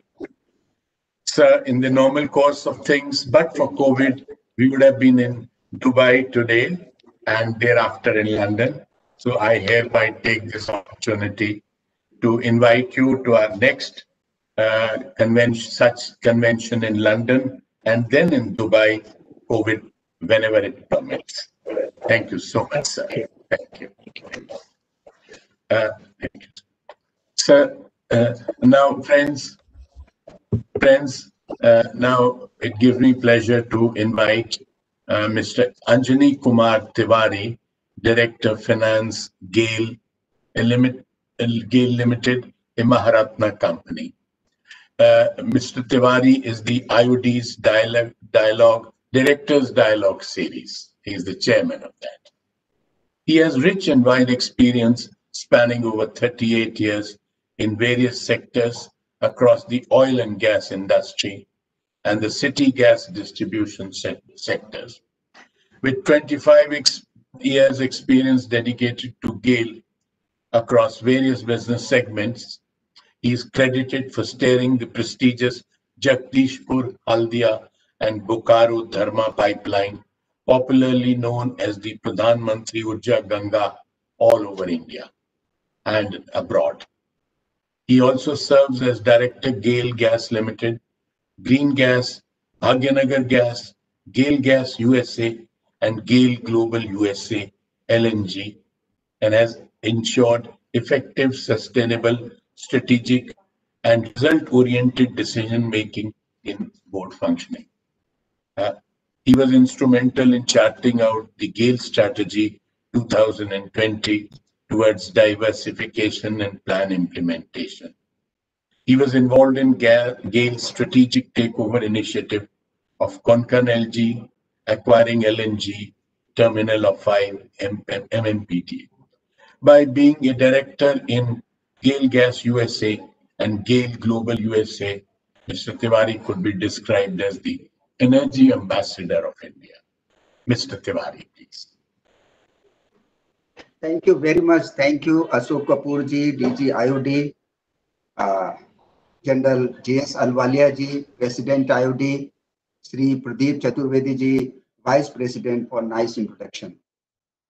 I heartily welcome respected Saurabh Bhai Patel ji, Honorable Minister of Energy, Government of Gujarat, Sri Upendra Tripathi ji, DG uh, International Solar Alliance, Sri Suman Sinha ji, uh, CMD Renew Power, Shri Ashish Upadhyay ji joint additional secretary and financial advisor ministry of power government of India Shri P K Das ji C M D एडा Shri Pradeep Khureka ji chairman Gujarat Borosils Shri Sushil Kumar Sharma ji director electricals Shri Vijay Karia ji C M D Ravin group of companies madam Radhika Jha from government of Uttarakhand and Shri Sunil Jain ji of Hero Future energies Prasant Chaube Senior Vice President Avaada, and Moderator Jimmy Greer, and all the participants attending the program through virtual mode on Directors Conclave. Good afternoon and namaskar to all. It's uh, it's my pleasure and privilege to be uh, with you during second series for Directors Dialogue organized by IOD. The first dialogue was on oil and gas. The response and takeaway was excellent, which motivated for the dialogue on power and new and new renewables uh, with the theme accelerating sustainability, energy transition, directors strategy and directions. I would like to give some words perspective and uh, my thought on the energy transition. As we know that India is not placed well in terms of per capita global average consumption of energy in comparison with many developed and developing countries. The per capita energy consumption in India is only 805 kilowatt hours, whereas other developing countries are much more. So the data shows that there have been ample chance for growth and development of energy consumption in developing countries. The developed, developing, and underdeveloped countries have different ways of energy usage as well as energy transition and have different sustainability measures as well as parameters which every country strives for. To be more precise, energy transition is a dynamic process and is a complex subject. It's not a simple subject. It's a complex subject and further, further energy transition means different to different nations, especially in the developing world. Many developing nations, including India, are advised to move beyond natural gas for energy, energy usage when they are still stuck up severely with the energy poverty. The different form of energy, climate, technology, innovation, and class of nations to place spare capacity means whatever the spare capacity is there to different consuming countries forces energy transition by all and therefore is not static. Energy transition are not new. They have been going for a long time and unfold over a time. Previous energy transition have primarily been driven by technology, economics, environment consideration, as well as convenience and ease. The current one has a politics, policy, and activism more mixed in. So the energy transition is a measure to rebalance geopolitics in the world by different countries. Further, finance and energy investments have become a new arena for climate and places sustainability at the center of our investment approach. As we know that the global CO2 emission from fuel consumption by major countries shows that the China has 29%, United States 15%, Europe has 12%, whereas India has only 7%. So the human influence on the climate based on the CO2 emission is loud and clear and further emission of greenhouse gases are the highest in the history. I feel that the cost of energy transition will be big, but the cost of inaction to curb the emission will be much bigger. To my mind, the alarm about climate is greater, great motivator for the energy transition in the present world. Whether the transition to a climate neutral economy will improve or hurt growth is a quantitative issue. Unfortunately, we know too little about it while arguing that the prosperity depends long term on decarbonization. Energy transition could only be thought in India, taken into consideration on the new global map of energy based innovation and dramatic shift in the geopolitics and energy. How climate concerns are reshaping the shape of energy and how much discussed energy transition from fossil fuel to renewables may actually play out in the Indian context. A lot of things are not being taken into account when the discussion happens around renewables and electric vehicles.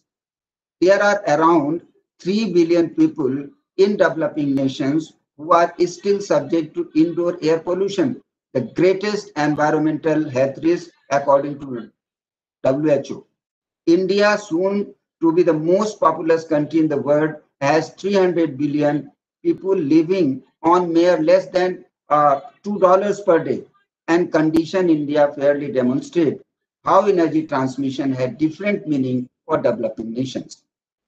Energy transition in India has multiple dimensions. For example, it could mean moving from wood and waste to fuel to commercial fuel, which is less hazardous, and it can mean focusing on achieving growth rate to lift people out of the poverty.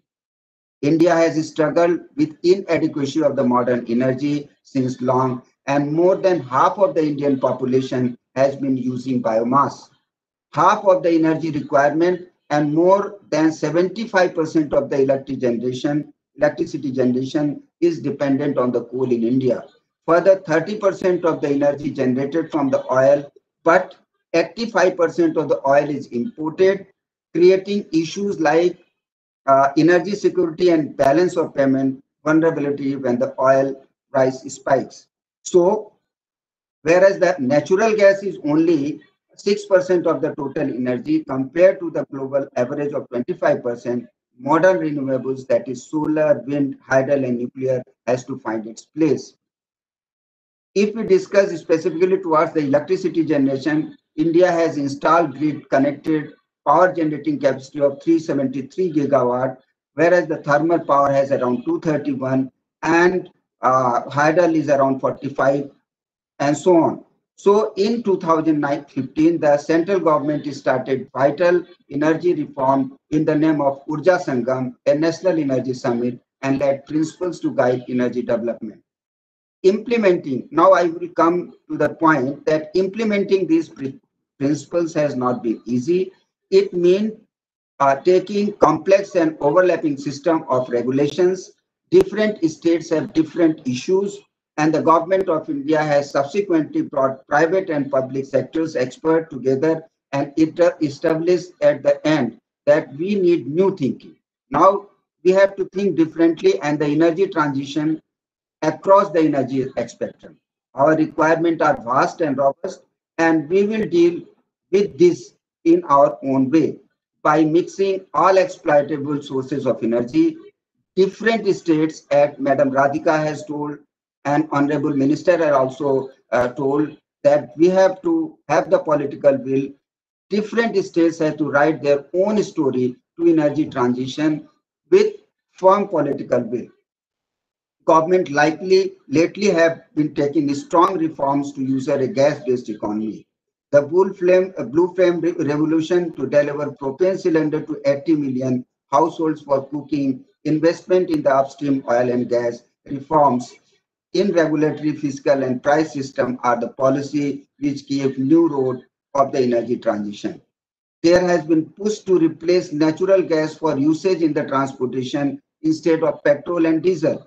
Also, India is becoming a major player in the global LNG market and has become a significant buyer of both oil and gas, uh, LNG from the different sources, adding a significant new dimension of relation among exporting nations, mainly US and Russia.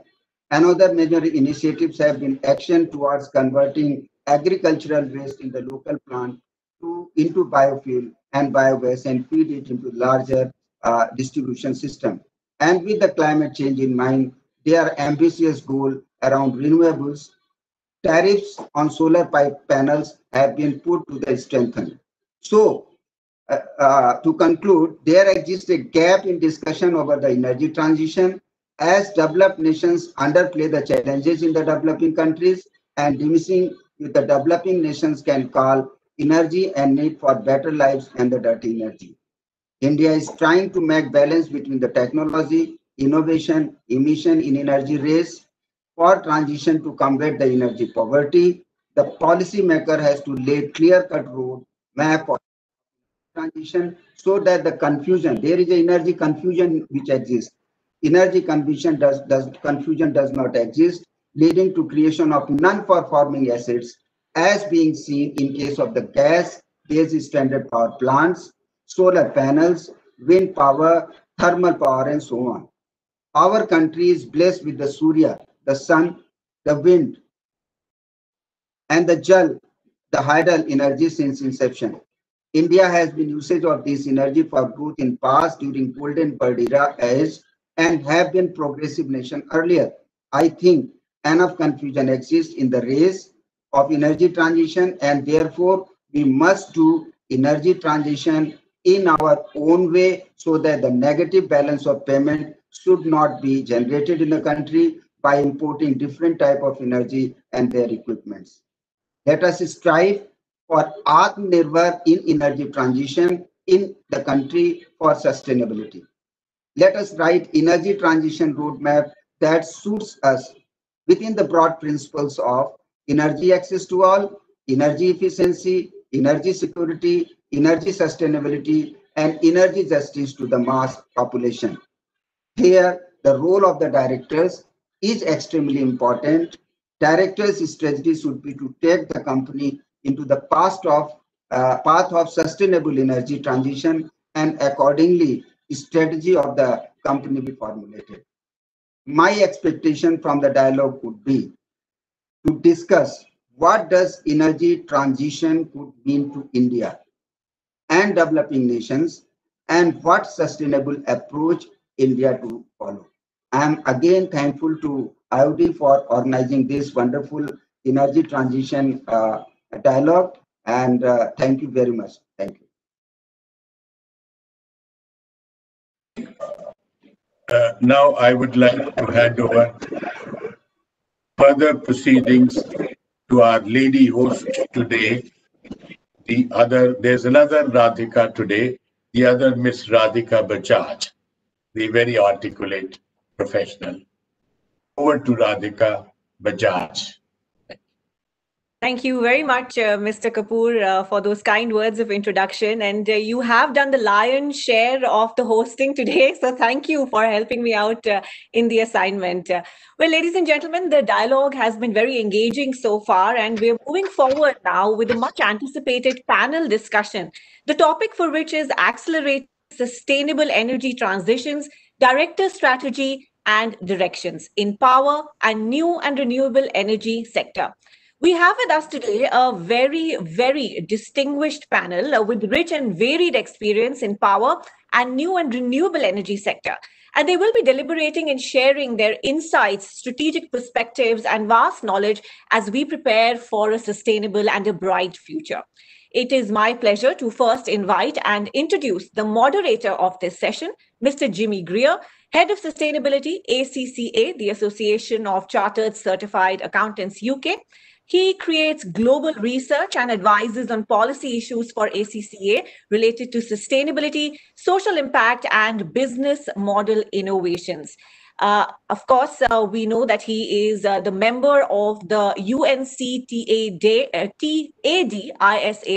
consultative group on enterprise reporting on the UN Sustainable Development Goals and is also a member of the Climate Disclosure Standards Board Technical Working Group.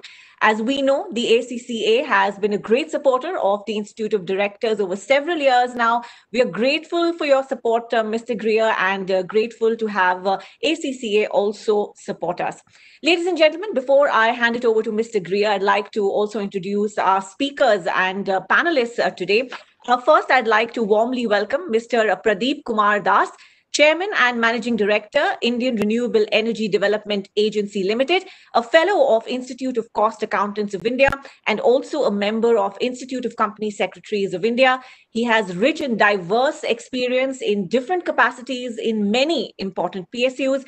Uh, he has uh, contributed extensively in the formulation and implementation of various systems, new and innovative products, policies, business processes, uh, re-engineering, uh, etc. Thank you for joining us. I'd now like to introduce and welcome uh, Mr. Vijay Karia, Chairman and Managing Director, Ravin Group of Companies, one of the fastest growing electrical businesses in Asia.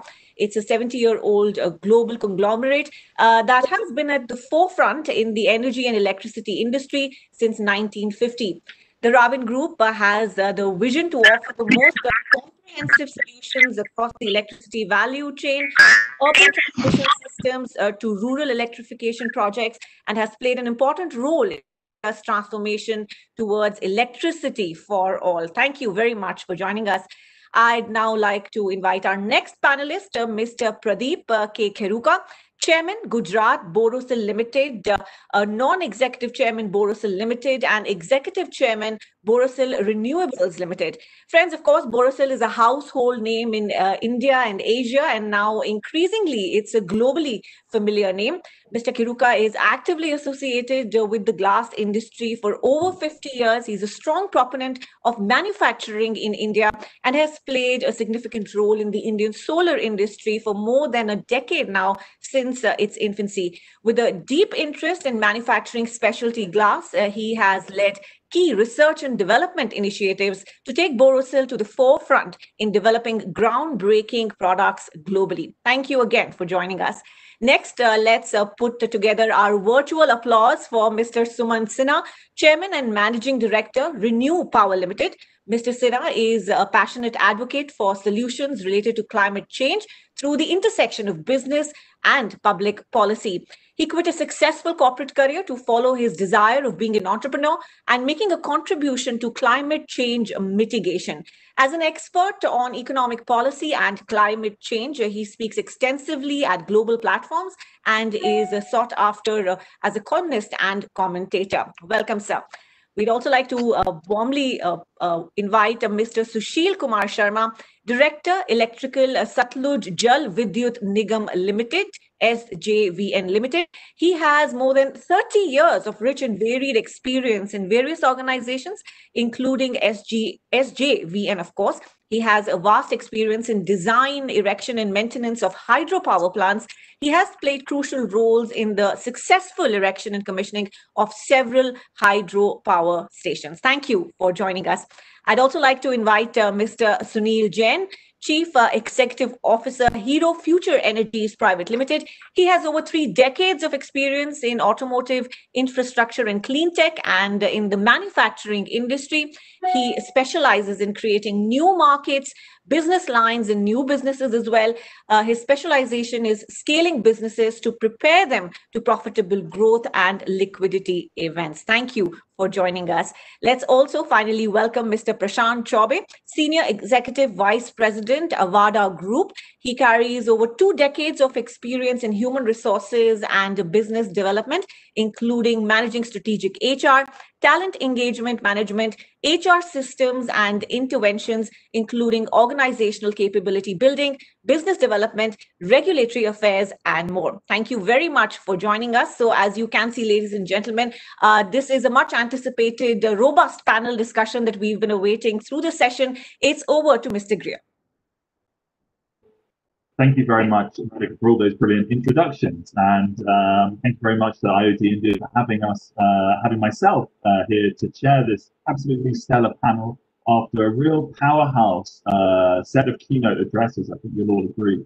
Um, had the context set in so many different ways, and I and I really don't want to repeat this. I want us to get into the panel right away. Uh, from an ACCA point of view, we're absolutely delighted to be working again, collaborating further on uh, on a, uh, this super important topic related to um, uh, all all the activities we are trying to achieve in um, in sustainability, sustainable development, and building uh, inclusive prosperity. Um, I think you know from my side of view, thinking about finance professionals and their interaction, we're absolutely we have been surveying our members, and they've been telling us that they absolutely want to be part of the energy transition, uh, sustainability transformations within their own organizations and they want to assist their, uh, they've told us a message loud and clear that they want to assist the companies that they work for in unlocking that potential, in um, helping these projects uh, not just see light of day, but to uh, thrive and to become the norm. And, and you know, taking that to a global level, increasing the flow of capital across the spectrum of the energy transition is absolutely something that our members are very well equipped to do. They understand the barriers and they're ready to be supported. Mr. Um, I'm Yes. sorry to interrupt. I would just uh, like to request uh, all the panelists uh, to please uh, start their videos so that we can uh, see them. So just that request going on. Uh, please continue. Thank you very much, and uh, and I think you've reminded me, Radhika, that I'm you know I'm very passionate about this subject, but I think our panelists will be able to really fill us in on, on what's happening. I think maybe just to mention one more thing that I think is important for us all to bear in mind, and I think it was brought up by by um, uh, Mr. Tiwari very well, is that you know at a global level we've got Biden's administration joining the Paris Climate Agreement. We've got very strong global commitments uh, uh, around hitting our climate goals. And, and we're doing this, as was mentioned, around energy access, around issues like air quality. Um, what are we going to do about extreme heat coming up in the future? And, you know, broadly tackling climate change. You know, so we've got these big ambitions. We're all signed up. The policy curve is moving further, faster the whole time to support and enable this to take place at a faster place, a faster pace. And there was, I think, 500 billion US dollars in the last Bloomberg report on into renewable, into the energy transition last year. This needs to be scaled up into the trillions. And I know that India will be playing a, a huge part in this, not least uh, when we see the, the absolutely fantastic commitment from um, from uh, Prime Minister Modi related to uh, SDG 7 and the generation of uh, re- uh, renewable energy by uh, 2030. Um, really setting that, that high level goal. And I think we've had a lot around those interactions and those, I guess, challenges along the way from so many experts. And with that, I would like to hand over to our first panelist so we can get going. I'll, I'll just ask before a little, a little bit of housekeeping for my guests. I'd ask my each panelist to um, to keep their remarks to uh, to six to nine minutes, something like that. We'll then come back for a, a short discussion before going out to Q and A. So um, uh, with that, I would like to uh, welcome our first panelist, um, Mr. Mr. Pradeep Kumar Das, uh, Chairman and Managing Director of the Indian Renewable Energy Development Agency. I hand over to you, please. Am I audible? You are indeed. Uh, this is the protocol we need to maintain now in the VC mode when we are talking. Good to all uh, the participants and the panelists and uh, respected Sri Ashok Kapurji and Institute of Directors. I'm grateful that uh, I'm invited to speak on this forum, which is very relevant uh, in today's context, not only the subject, but also the organization which is organizing it. The dialogue, directors dialogue series. Actually, I got the information last Saturday. There was some communication gap perhaps. So Monday we exchanged some uh, correspondence, and today I'm participating in the discussion. So that speaks that how fast and how quick we are deciding the things. So briefly, I'll touch about uh, just uh, a minute about the industry, and then I'll straight away come to IREDA and uh, government uh, policies what we have considered in the recent past. See, already it has been said that uh, 374 is the gigawatt uh, capacity of installation of energy, out, out of which 90 is uh, towards renewable energy, which consists 24%. And the wind is 38 and solar is 37. Globally, India ranked third in terms of RE capacity, fourth in terms of installed wind energy, and fifth in terms of solar power installed capacity. But if you see the last five years CAGR, it is 17% in last five years the industry is growing. This is RE sector. As far as self-sufficient in manufacturing is concerned, the technologies in the field of bioenergy, small hydro, wind energy, government is taking in, already India is self-sufficient in this, and government is taking initiative to ensure to become self-sufficient in solar energy also. Now, Prime Minister's dream of Atmanirbhar Bharat is working in these directions, and already already lot of uh, uh, initiative has already been taken, and uh, domestically installed capacity has been increased, and many of our borrowers have also come to us. Earlier they used to come for projects, now they have come for manufacturing of the project. And if you look at uh, whenever we are doing, uh, as it was said, ultimate consumer in the industry is the human beings ultimately. So customer is all human beings in a sense. So therefore, the more the population grows, the more usage will be growing. So simply providing them the energy is not the concept. Also, we should enable them the employment opportunity. Uh, The rough estimate is more than 5 lakh direct employment opportunity has been created in this renewable energy segment and 50 million indirect uh, bulk of jobs has also been created in this sector. And mostly these jobs are 90% in semi-urban and rural India. If you see historically, the employment is always in metro and urban India. But this segment is completely changing the employment opportunity scenario. And we must not forget that India is largely economy is based on rural. So we need to create and generate employment opportunity in rural in order to have a ecological balance. Otherwise, in the urbans, you cannot live even. We are living in a place like Delhi. For four months, we uh, struggle to even uh, breathe. And not only because of COVID, we are using mask. Otherwise, also we were using mask earlier. If you talk about the uh, growth of uh, growth story of RE sector, initially India was focusing mainly uh, in this uh, decentralized uh, and small hydro. And with huge reduction in capital cost and cost of generation over the years, we have moved from kilowatt to megawatt and megawatt to gigawatt now. Now, this COVID 19 crisis has highlighted also the importance of developing more resilient and sustainable energy system that are capable of withstanding future shocks and improving the health and well being of the citizens. Investment in energy was also indirectly made mandatory through the Paris Convention, where we are mandated to gradually reduce the CO2 level, and in future we have to have a completely clean energy available for the society. Now, to foster the energy transition, government has taken various measures in the recent past, permitting format foreign direct investment because I'm uh, talking the finance part particularly because uh, Indian Renewable Energy Development agencies is a non-banking finance company since 34 years. So I'll be touching upon more into those areas. So FDI of 100% of automatic route has been uh, considered. Model PPAs and OM contracts, standard bidding guidelines. Now we are working on a unified bidding uh, guidelines. I'm also a committee member there. Then letter of credit for security for ensuring timely payment to RE generator in place of bank guarantee. That is nothing but enabling the liquidity gap, mitigating the liquidity gap for the investors. Whoever of interstate transmission system, uh, I must say that this letter of credit concept was introduced by IREDA only. Now PFC and REC, they have been asked to follow this. Long-term trajectory for renewable purchase obligations, green energy corridors, dedicated schemes for solarization of farm sector and agricultural farms. All the factors have paved the way for several global funds who have either invested into the sector or are advanced stages of decision making.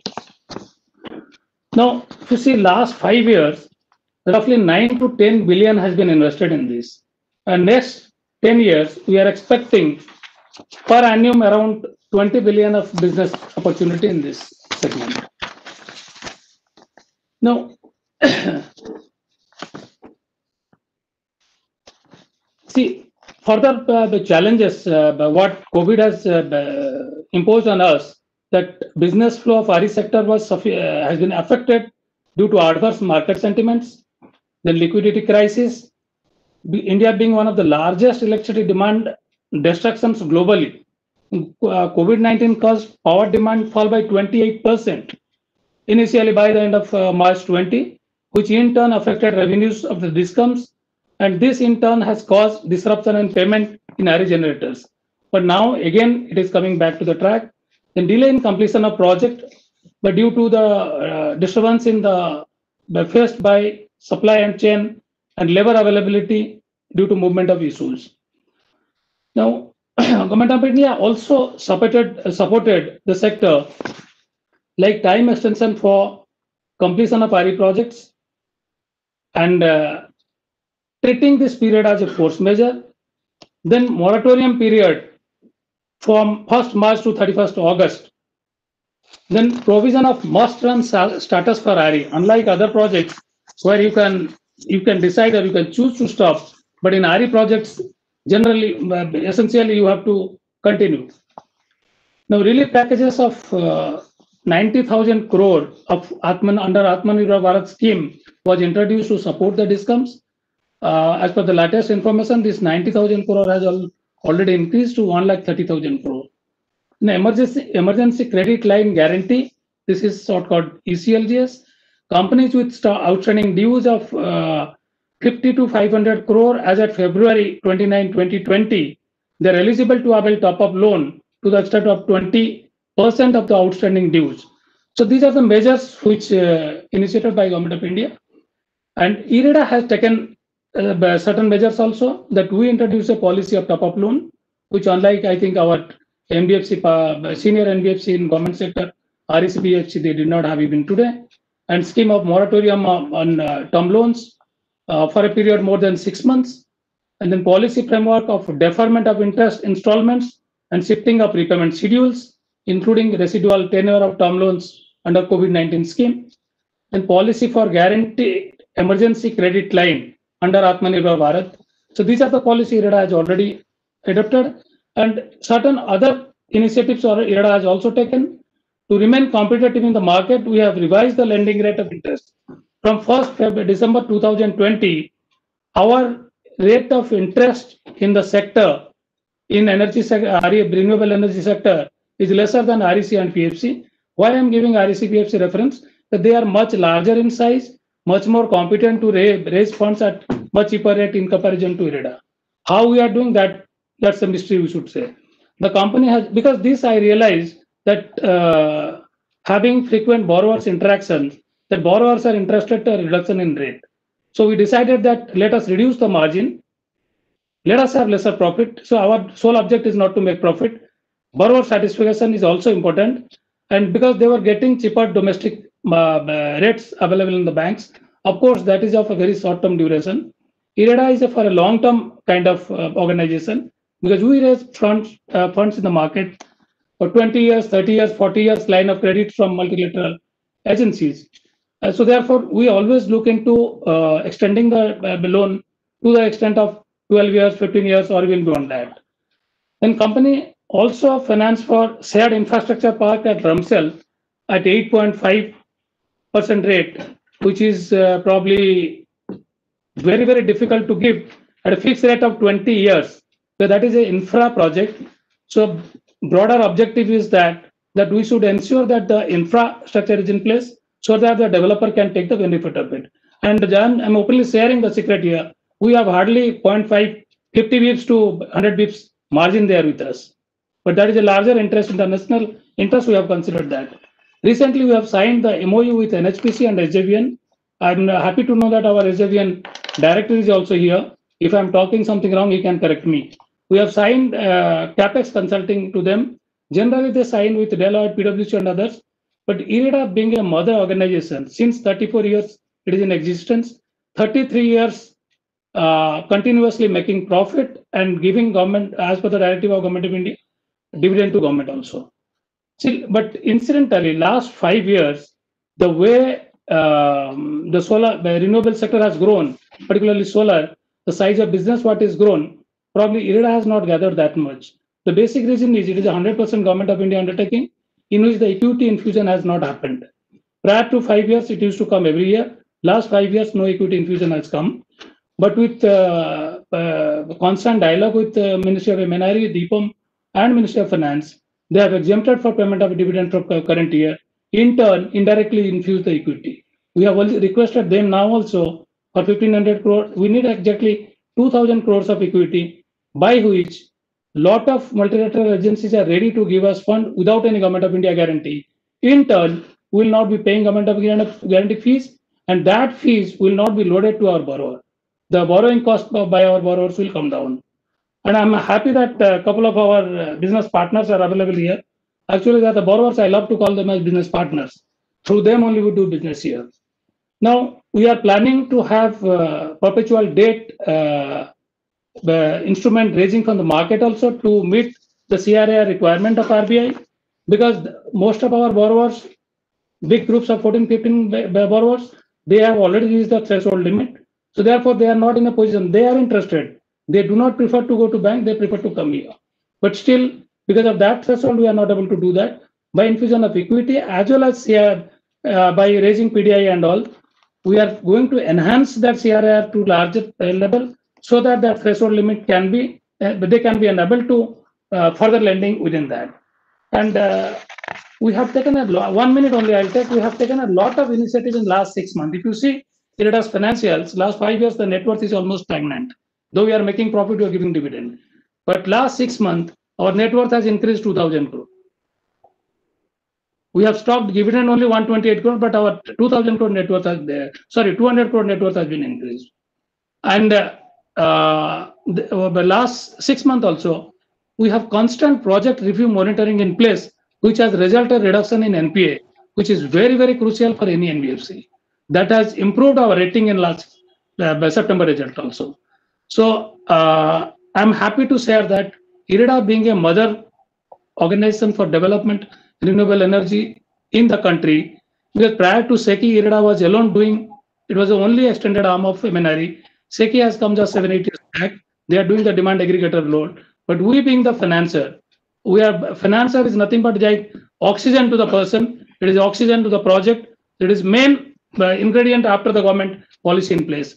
We are also handholding MNRE and Ministry of Power for a lot of reforms in power sector through our experience. Thank you very much, and I'll be available for questions if any.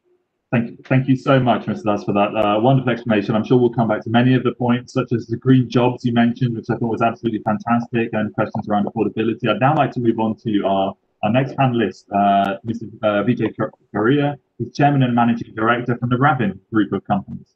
Um, I will hand the floor over to you now, Mr. Thank you, uh, Mr. Greer. Good evening and welcome to everybody on this conversation. I will not dwell onto the past. I will not dwell onto the problems of the energy sector, though I don't believe that it can be any longer called the energy sector. I'll come to the reasons for that. I'm here to talk about the energy transitions, the implications and opportunities for India, and what it means for all of us. So I'm going to talk something on the future and what we need to do as a country. The last energy transition that happened was just over 100 years old, 100 years ago, with the entry of energy, uh, with the entry of electricity and oil. This transition has completely reshaped the global economy. Another important recent transition has been digital, which continues to reshape the global economies. The demand for data and the demand for data sovereignty is leading to a situation where apart from the daily requirements of electricity, we require a considerable amount of electricity for data, communication, business, entertainment, and for everything that we do, including our nation's security, our future R&D, and all our major developments totally and wholly depend on electricity. I feel that we are on a cusp of a new energy transition where electricity shall remain a dominant status across all economies and industries. A key demand of the sustainability of the world we live in is sustainability of resources, of not polluting the world further because it cannot sustain it any longer. The global warming and the greenhouse effect are all leading to a situation where we cannot any longer afford to burn fossil fuel to generate electricity. Of course, the rising fuel costs, the pollution level, and the situation where we are creating a position where our future generations shall get badly impacted by our actions or inactions of today. Recently, most interestingly, in January 2021, Saudi Arabia has unveiled a plan for a zero carbon city within the projected NEOM zone, the kingdom's futuristic business hub set to be built along the Red Coast, where the city called the Line will be an eco-friendly city with zero cars, zero streets, and zero carbon emissions. It'll have an initial capacity to house 1 million citizens. It will have facilities like schools, health centers, and green spaces with high-speed public transport system planned and pedestrian travel within the city is not expected to take more than 20 minutes. Of course, artificial intelligence plays a huge role in the venture, but most importantly, it will be 100% powered by clean energy, green energy, providing pollution-free, healthier and sustainable environment for the residents. Coming to India, India has started a massive movement for addition of renewable energy from the year 2014 onwards. We moved from a total capacity of about 5 gigawatts in 2000 to a total of about 136 to 138 gigawatts today. Out, and just the solar energy we are looking to implement in India is about 175 gigawatts by 2022. We have moved a huge transition in terms of how we generate and how we consume electricity. As one of the panelists mentioned earlier, yesterday we saw peak demand of about 186 gigawatts of electricity, though as of today, the per capita consumption of electricity in India is less than one third of the global average. In India, we have seen a massive shift in terms of generation of electricity, as I said, from thermal to renewable. And the emphasis has been on solar, where the shift has been even greater in terms of costs, where costs have reduced considerably to the extent of almost 90% and reached lower or comparable levels to most of the efficient thermal plants. We are perhaps foreseeing a future in the next decade where we might see a near zero cost of electricity, where what will be paid for is the data relating to electricity and its consumption. Another transition in solar has been of tracking systems, which are very popular in the US and some of the other countries, but has not seen much of traction in India. The mantra of more from same. And our own installation of tracking systems in India has resulted in data where we have found that we generate 35% more than a fixed system. At the utility scale in the US, out of 29 gigawatts capacity of solar installed, and these statistics are of somewhere of 2019, 21 gigawatts was with tracking system, which is almost about 70%. Whereas in India, even today, we have only about 8 to 9% of the solar energy on tracking systems. Yet, despite this, our per unit costs of generation, as the Honorable Minister Saurabh Patel said some time ago, have been sub 2 rupees, 1 rupee 99 paise to be precise. Future in tracking systems is the new consolidated design of trackers with bifocal modules to achieve the lowest LCOE. Bifocal, bifacial, sorry, bifacial solar modules that track the sun produce 35% more electricity than regular modules and can help achieve some of the lowest levelized costs of electricity in the world, almost by 16%. Technology-wise, small solar trackers have optimized smart control functions with PLC and addition. Trackers for bifacial modules have advanced smart features like backtracking, shade control, tracking algorithm optimized for bifacial optimization. Therefore, this is a transition that we are going to see happening very quickly in the country. In the country today, we are focused on costs, but I think this technology transition is due for implosion at any moment. There is also a transition taking place to hybrid and back, battery-backed systems, inherent complementary nature of wind and solar power, where wind at night and solar during the day makes a hybrid system most suited to meet the energy demand. India's wind solar hybrid capacity is expected to reach almost 11.7 gigawatts by 2023. The current hybrid system is only about 150 megawatts. Now, what India needs to quickly do to upgrade its electrical grid infrastructure because if we keep on like this, we are seriously seeing grid integration issues at a very early, early stage once we generate more of renewable energy.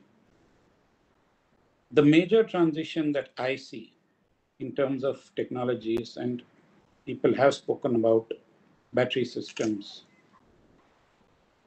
etc. But I feel what is going to happen is fuel cells. We have the news today that the Israeli company called StoreDot has manufactured the first lithium ion battery for electrical vehicles that can charge in five minutes.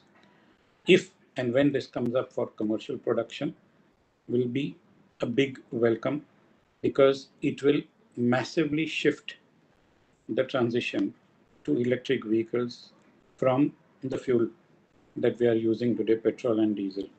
Thus, in our lifetime, we are seeing massive transitions taking place in our lifetime and the way the world lives in travel, in communication, and in every possible way, the center of this transition is electricity. Therefore, as I said earlier, I do not believe that it is an energy transition because the word energy is being replaced by the word electricity. Therefore, whatever we say about energy, everything we are converting to electricity.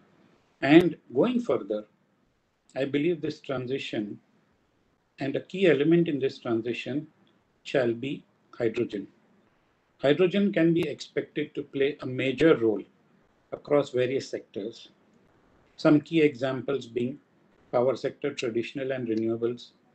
For example, blending hydrogen with natural gas can drastically improve power generation efficiencies. Renewables combined with localized production, storage, and reutilization of hydrogen with gas turbines can enable renewables to graduate from being intermittent to firm sources. Given India's major thrust towards renewables and the critical need of making this energy firm, hydrogen has the potential to emerge as a better energy storage solution for India industrial sector, that is oil and gas, steel, etc., are major consumers of hydrogen. Such sectors can and are producing currently hydrogen by a methane reduction process, which has a very high carbon footprint and is likely to get banned going forward. Transportation sector, we are seeing there is considerable progress made in this sector and such sectors are currently producing hydrogen by a methane reduction process. As I said, which is going to get banned further. But transportation is already using hydrogen in terms of being deployed as a fuel in select markets, specifically in Japan and to a large extent in China. Companies such as Shell, Bharat, uh, BP, British Petroleum are modifying their petrol diesel filling stations to include hydrogen filling stations as well. Alstom, in terms of trains, has already deployed a hydrogen train and more is happening. So hydrogen is most efficiently produced by electrolysis and equipments and solutions needed for this will need a significant value of electrical equipment to enable this. These implications are large and will mean opportunities in trillions of US dollars on a global basis and possibly hundreds of billions of dollars in India. This energy transition will also call for new policies and financing methodologies. The developed countries are already following this. As I said, Japan is one of them, China is one of them. 88 companies in Japan, including Toyota Motor Company, have established a new organization called the Japan Hydrogen Association to promote creation of hydrogen supply chain in the country. Japan, a maker of more than 5 million vehicles annually, wants to have 800,000 fuel cell vehicles sold from around 3,400 currently. So, thus, the countries that are moving towards this technology on a first mover basis will be massively benefited. India, therefore, needs to quickly get onto this bus and move rapidly. We thus welcome this initiative by IOD to bring in a focused discussion to ignite and accelerate the various strategic discussions being held across the boardrooms. And we are happy and proud to be part of it. I do wish that more such discussions take place so that we can rapidly move towards a better, a greener, and a cleaner world. Thank you very much. Thank you so much for those uh, very uh, visionary and practical remarks, Mr. Kruger. I, thought that was a fantastic view on the, what is happening now. It's really, it's really happening now. So the time is, time is of the essence. Um, just on, uh, as you mentioned, the electricity uh, transition. Uh, that's absolutely fantastic to hear all those different examples coming through. So thank, thank you very much. Um, and, and now let's move on to our next uh, speaker, Mr. Pradeep Kheruka. He's uh, chairman of Gujarat Borosil, non-exec chairman of Borosil, and exec chairman of Borosil Renewables. Um, so um, delighted to have you with us. Um, please, the floor is yours. Thank you. Uh, I'd like to uh, compliment the Institute of Directors for having set up this uh, webinar. The kind of uh, policy initiatives that we've heard uh, really is, is so interesting that it's it's truly a very large enterprise trying to bring renewable energy and uh, uh, integrating it into the overall policy uh, power grid of the nation.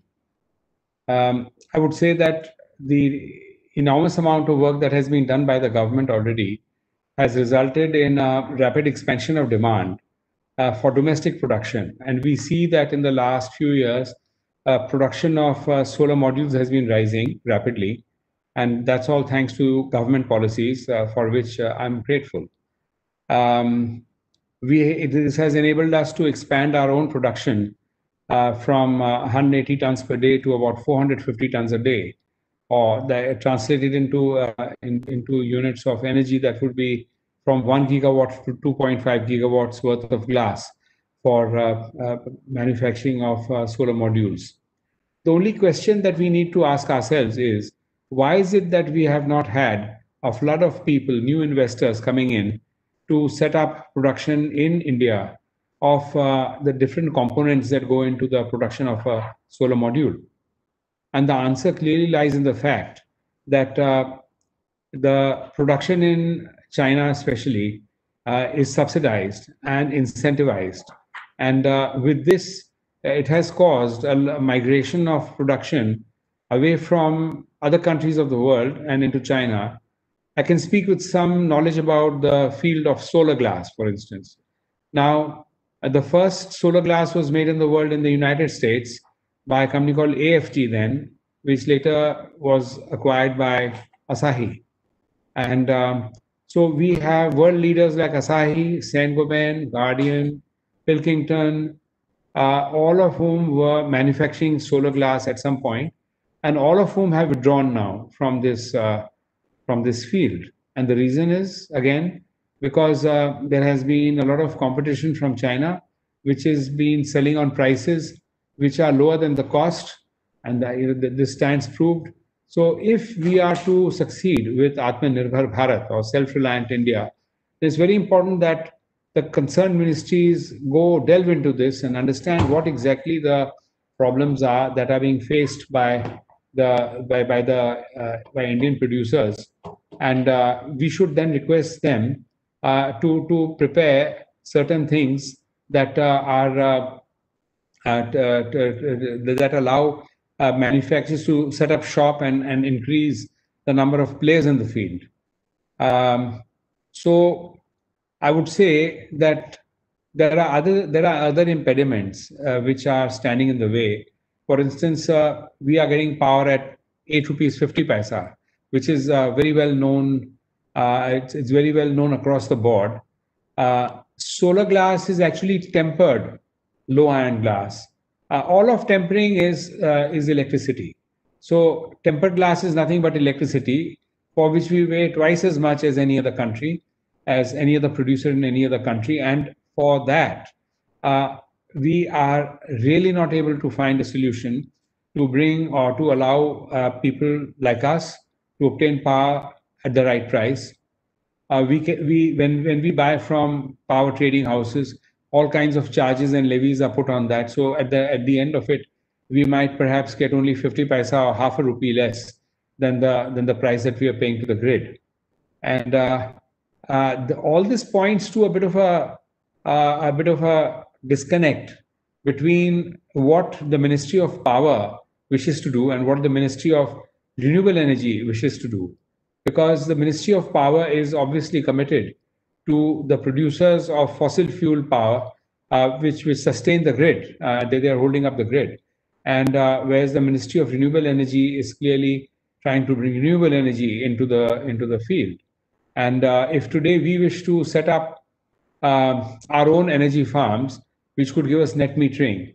Uh, we we are first of all not permitted, and uh, when we are not permitted, and there's a cap put on the amount of power that we may that we may generate from renewable sources, then that puts a spoke in the wheel of uh, being able to implement renewable energy with greater force than what is happening. For example, if we were to install renewable energy, we would not seek any viable viability gap funding or anything of that sort. We just need permission. That's all. Uh, there is a gentleman who I know personally. is Dr. Winfried Hoffmann. He's a German national. Uh, he has been awarded so many stars that you could uh, you could make a constellation out of all the stars that he's been awarded by the European Union. Uh, he understands how to integrate uh, renewable power with grid power, with fossil fuel power and I would be very happy to to sponsor his his meeting with the concerned people in the ministry if required, and uh, uh, at least hear from him what he has to say. How has Europe solved uh, this crisis, this problem of being able to blend renewable power with with grid power, and hopefully find a solution to the cost of power that we must pay in order to make our product for the Indian market or for the world market for that matter. Uh, having said this, I would also like to say that I am pleased to say that uh, in a recent uh, capacity expansion that we have planned, we were able to secure interest by a lot of uh, international private equity firms. And I, to my knowledge, this is the first time uh, that private equity has invested in a company, in an Indian company, which is manufacturing products which are components for assembly of uh, photovoltaic modules. Uh, so I hope that this is a welcome portent and this will be accelerated if the government is able to look more uh, at the solar components which need to be made in India beyond merely cells and modules. Thank you. Thank you very much for your remarks there, Ms. Kheruka, and it's absolutely fantastic to hear from uh, your expertise around that manufacturing side, uh, which and to hear your experiences there. So thank you so much. We'll pick that up some more in our discussion later. I'd now like to move on to our next panelist, uh, Mr. Sumant Sinha, who's Chairman and Managing Director from Renew Power Limited.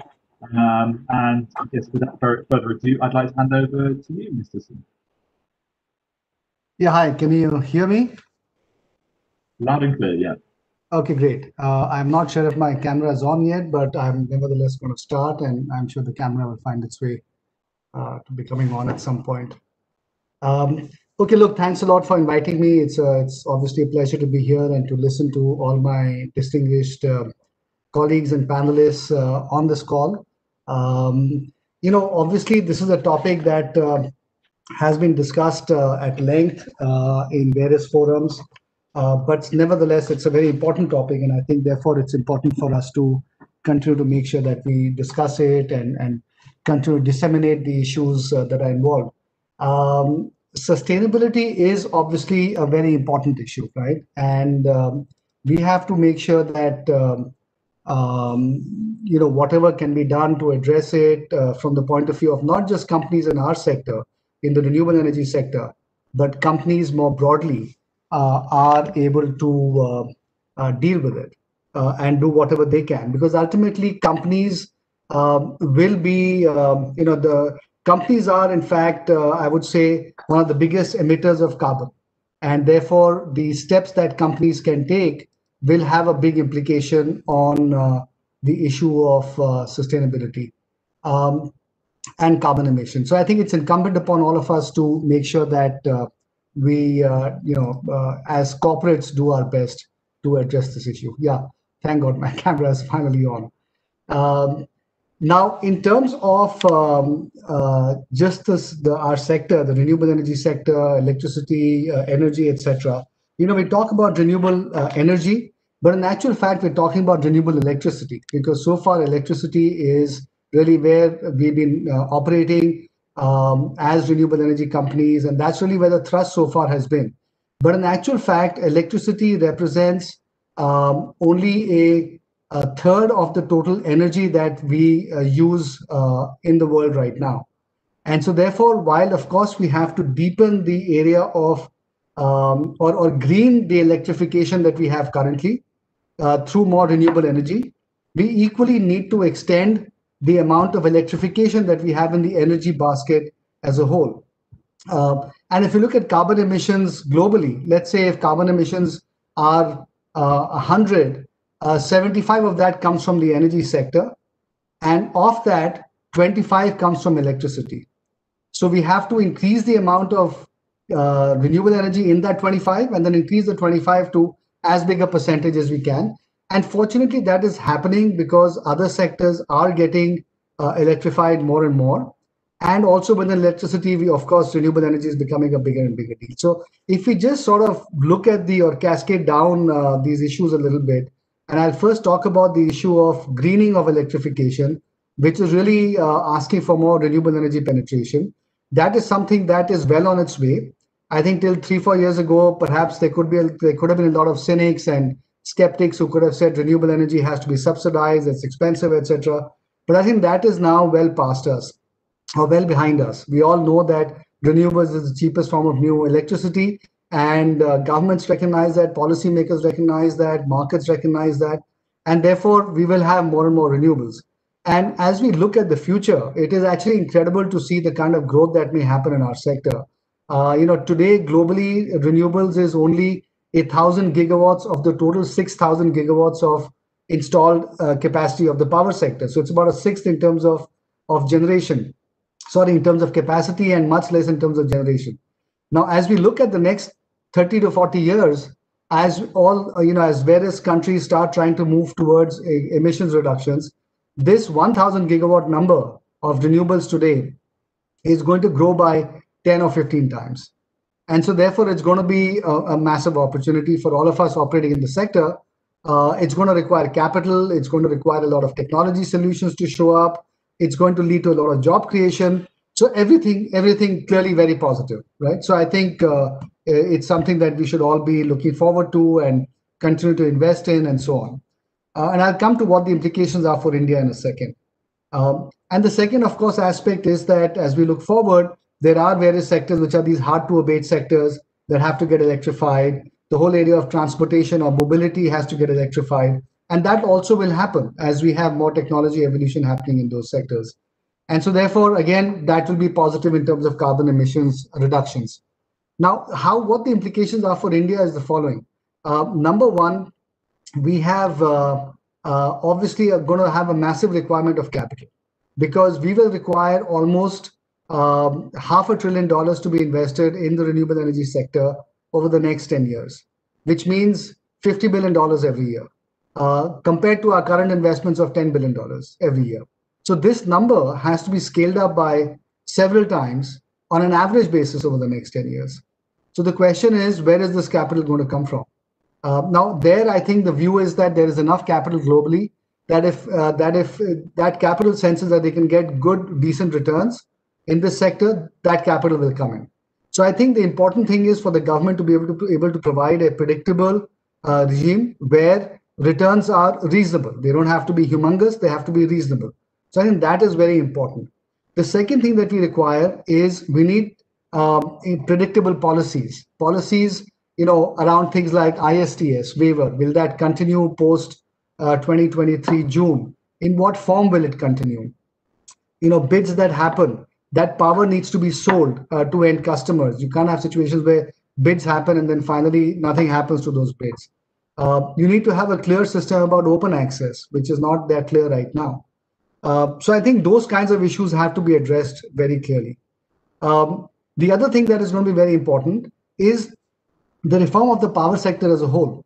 Uh, you know, ultimately, renewable energy is operating within the context of an overall power sector. And if that power sector itself suffers from deficiencies, as we know that it does, then obviously that will go to that will that will stymie the growth of the renewable energy sector as well. And within that, you know, we all know that the biggest issue is the area of distribution company reforms. Uh, unless the distribution companies are reformed, we will not be able to grow renewable energy substantially. And so that is a very, very big area. Uh, now, within that, of course, we all know that uh, you know there are regulators who are perhaps not as independent as they need to be. We have uh, political pricing of power, uh, electricity that is harming the whole sector. So that whole area needs to be reformed. Um, and and I think there's a lot of work that needs to be done. Um, and uh, I think that is an area that uh, you know passes on a lot of stress onto everybody else in the sector. So I think that's uh, the second big thing that needs to be uh, looked at. And the third, of course, is that we need more companies to operate in the sector and to make investments, acquire land, do all the execution on the ground, which is itself going to be a mammoth task. So I think, look, India is well on its way to achieving the targets that we've set out, which are very ambitious. Uh, we have a number, we have a fairly mature sector now that is operating uh, where there is enough of an ecosystem of players and capital providers. So from an execution standpoint, I think the challenge can be met. Um, I talked about some of the regulatory reforms that are still work in progress that need to be done, without which this target will not be met. So I think that is very critical. And uh, I think that um, uh, you know there will be, as I said earlier, a tremendous amount of job creation that happens. Manufacturing is an area that the government has clearly identified as being an area of focus for further investments. So hopefully we become self-reliant in manufacturing as well, and that will be very positive uh, for the country. So I think in all of those areas, in all of those mechanisms, I think renewable energy as a sector can uh, be a very big growth opportunity and will certainly be the largest part of the infrastructure sector uh, in the near future. Uh, there will be a lot of changes, a lot of technology evolutions and so on. So I think uh, uh, we have something very interesting to look forward to. But I think broadly, companies across all sectors have a role to play all companies have to uh, do whatever they can for sustainability and so on. So let me stop here because I know we're running out of time and I've taken a fair bit of yours. Thanks a lot. No, thank you so much, uh, Mr. Naren. I think that was absolutely fantastic. You know, where's the capital coming from and that call, not just the regulatory side and uh, policy uh, stability, but also the new entrants. Come on, this is a you know this is a kind of rallying call that we want to hear across uh, across the sector, uh, attracting people in and getting others to get involved as well. So thank you so much for your comments. Um, and um, and your uh, being concise as well. I really appreciate that from all of our speakers actually. Um, so on to um, our next speaker, uh, Mr. Sushil uh, Sharma from SJVN. Um, I'm going to hand the floor over to you, Mr. Uh, sorry, Mr. Sharma, please.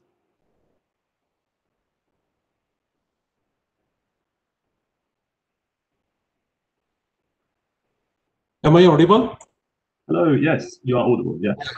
Thank you. Uh, I'm very uh, thankful to uh, IOD for giving me the opportunity for expressing my views on the topic accelerating sustaining sustainable energy transitions. As we know, uh, India is a signatory to the Paris Agreement of December 2015, which has set a goal of limiting global uh, global warming to well below 2 degrees Celsius compared to the pre-industry levels. Also, the signatory countries will pursue efforts to limit the temperature increase to 1.5 degrees Celsius. This will require a major push towards the zero emission in the coming decades. Uh, I would also like to mention that in the recent five years, 2014 to 15, 19, have been the warmest years of Mother Earth, and the climate crisis is staring at us, and we have to do a lot to accelerate the transition at a faster rate. It is a hard fact that we are already into a position where climate change is, uh, climate is changing, and uh, we have only few decades to save our environment beyond irre irreparable and irreversible loss. Uh, with regard to India, India, India submitted its NDC in 2015 for implementation of the Paris Agreement in the post-2020 period. The NDC has eight goals, including three quantitative goals, namely a reduction in the emissions intensity of gross domestic product by 33 to 35 percent by 2030 from 2005 level, achieving about 40 percent cumulative uh, electric power installed capacity from non-fossil fuel based uh, energy sources by 2030 and creating an additional carbon sink of 2.5 to 3 million tons of carbon dioxide equivalent uh, through additional forest and tree cover by 2030. India, uh, India as a developing country has a huge task to transform the energy requirements from fossil fuel to zero emission based energy. On the one on the one side, India has to accelerate the growth of economy, and on the other hand, manage the energy requirements. India's we know. Mr. Uh, Sharma, my apologies. My apologies to interrupt you, Mr. Sharma. Can we request you to please uh, switch on your camera so we can see you? sir? I'm I'm trying, ma- ma'am. I'm trying to uh, click on the uh, video, but it's not coming. Uh, all right, in that case, sir. Thank you. Okay, Please I'll. I'll try. Sorry for the I'll interruption. try. I'll try. I'll try again. Try, but it's not coming. I think. Yes, just a minute. It's not coming, ma'am. Uh, no problem at all, sir. Please continue. I think- I think it- it Ah, has- Yes, it- we it can see you. Yeah, yeah. Bingo. Thank you. Thank you. Thank you. Thank you.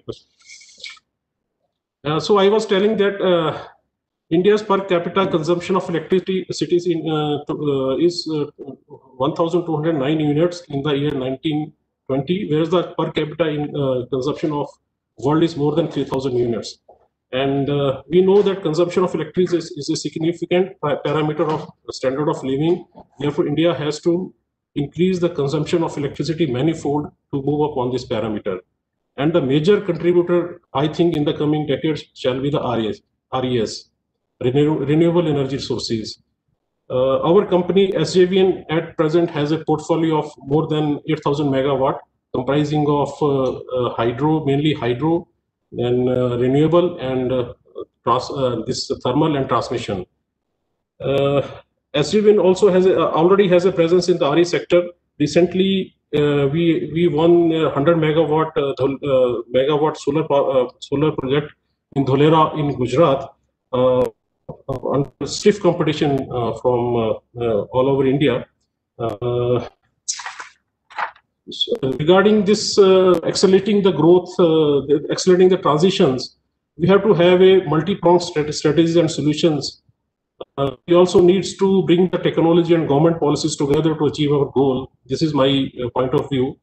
With reference to energy, I can say that uh, uh, with reference to technology of this energy transmission, I can say that we have sufficient technology available at present to increase the presence of solar and wind. But we have a challenge, small challenge to store the electricity generated from solar and wind. And for that, also the technology like lithium ion batteries available but only constraint is their production and availability. But I am sure that in the coming three to four years, the availability of battery storage will be enough to meet our demand. But uh, uh, while we are dis- discussing the accelerating measures, we I think we should also ponder upon what are the barriers also. The major uh, barrier I think is the social economical barrier uh, from uh, uh, from shifting the coal-based, coal and oil-based uh, this fuel to this renew- renewable energy sources. We know that coal is a cheap fuel, and a lot of industries and population is dependent upon coal for their livelihood. Similarly, the case for oil. By moving from fossil fuel to RES, lot of jobs will be lost, and other and will be the other impacts also. So we have to manage that change. I think this is a big challenge.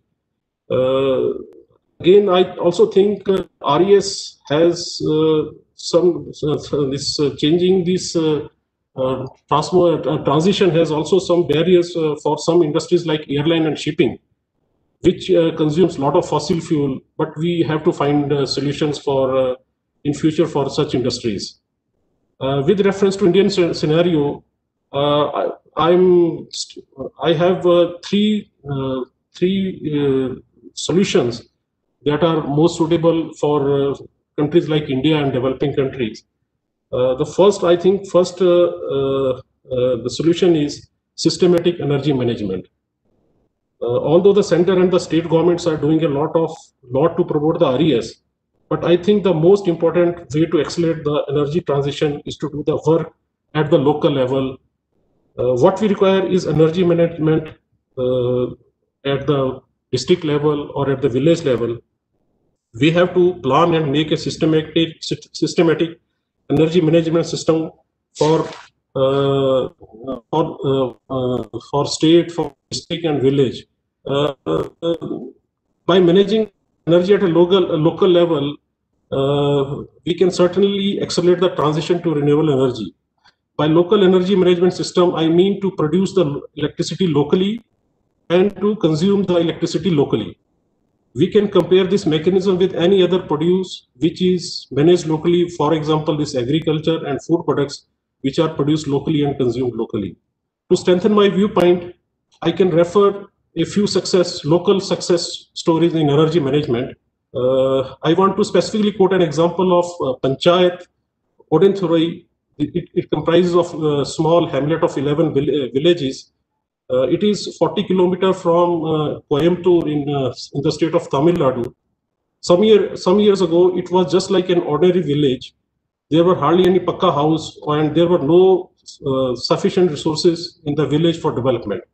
But some time back, this village started implementing integrated wind and solar plant. Initially, they installed solar panels in every household, which reduced their energy bills. And uh, also, uh, they were able to have electricity in their houses. Uh, subsequently, by taking loans from bank, they installed a windmill and also installed solar panels on the spare land. By doing all these integrations of wind and solar, now nowadays, Udanthurai uh, Panchayat produces 7 lakhs units of electricity, out of which 4.5 lakhs of uh, units are consumed locally, and they also sell spare 2.5 lakhs of power to Tamil Nadu Electricity Board at a rate of 3. Point, uh, uh, 3 point, uh, rupees 3.0 unit. That way, they generate a cash cash of rupees 19 lakhs per month after uh, repaying the loans, etc. Similarly, similarly, uh, and this uh, seven, 19 lakhs of rupees they spend on the improvement of development of uh, development activities in their villages. Similarly, Chikbalapur district of Karnataka has 5,500 clean cook stoves through use of biogas. We have a um, we have a lot of uh, success stories like like uh, like these above uh, two villages in in India. Uh, similarly, we often hear uh, success stories in other countries, such as some town in UK or USA have totally switched over to renewable energy resources by employing wind and solar energy solutions. In the integrated plan, we can also include other things such as solar pumps, uh, solar pumps, etc., at the local level. One more advantage of local energy management system is that we do not need miles and miles of transmission lines. In India, where still a lot of people have limited access to electricity, the energy management at local level will transform their life, lives. The local management of energy will also help stabilizing the grid Therefore, we need to have an energy management plan for every district and village to accelerate the transition in a uh, in a very cost uh, effective solution. Uh, this is, uh, I think, uh, uh, in my viewpoint, is a if we implement this local energy management plan, it will certainly transform, transform and accelerate the transition to renewable energy sources. Now, second, my uh, solution is to further promote the hydro sector. Uh, regarding uh, this renewable energy sources, I want to state that we also need to be cautious that while managing the climate change, we may not change the environment. We know that solar modules and batteries have a limited life for 20 to 25 years. So after 20 to 25 years, we have to face a disposal of these panels and batteries, which if not dealt properly, will, properly will do a lot of environmental damage. At this juncture, juncture, I would I want to stress that side by side, we should also promote and encourage hydro sector, hydropower plants. Hydro power plants produce almost clean energy. The hydropower serve the society up to not many years. There are hydropower plants in India which, which are more than 50 years old and are still doing well. Another advantage of uh, hydro plant is that although the cost of power is high in the initial years, but say after 15 to 20 years, the cost of hydro energy comes down dramatically after repaying the loan, etc. In India, we know that there is a scope of about 90 uh, gigawatt of hydro potential. Until now, we have only harnessed half of that potential. By promoting hydro plants, we will have a long-term solution of sustainable clean energy.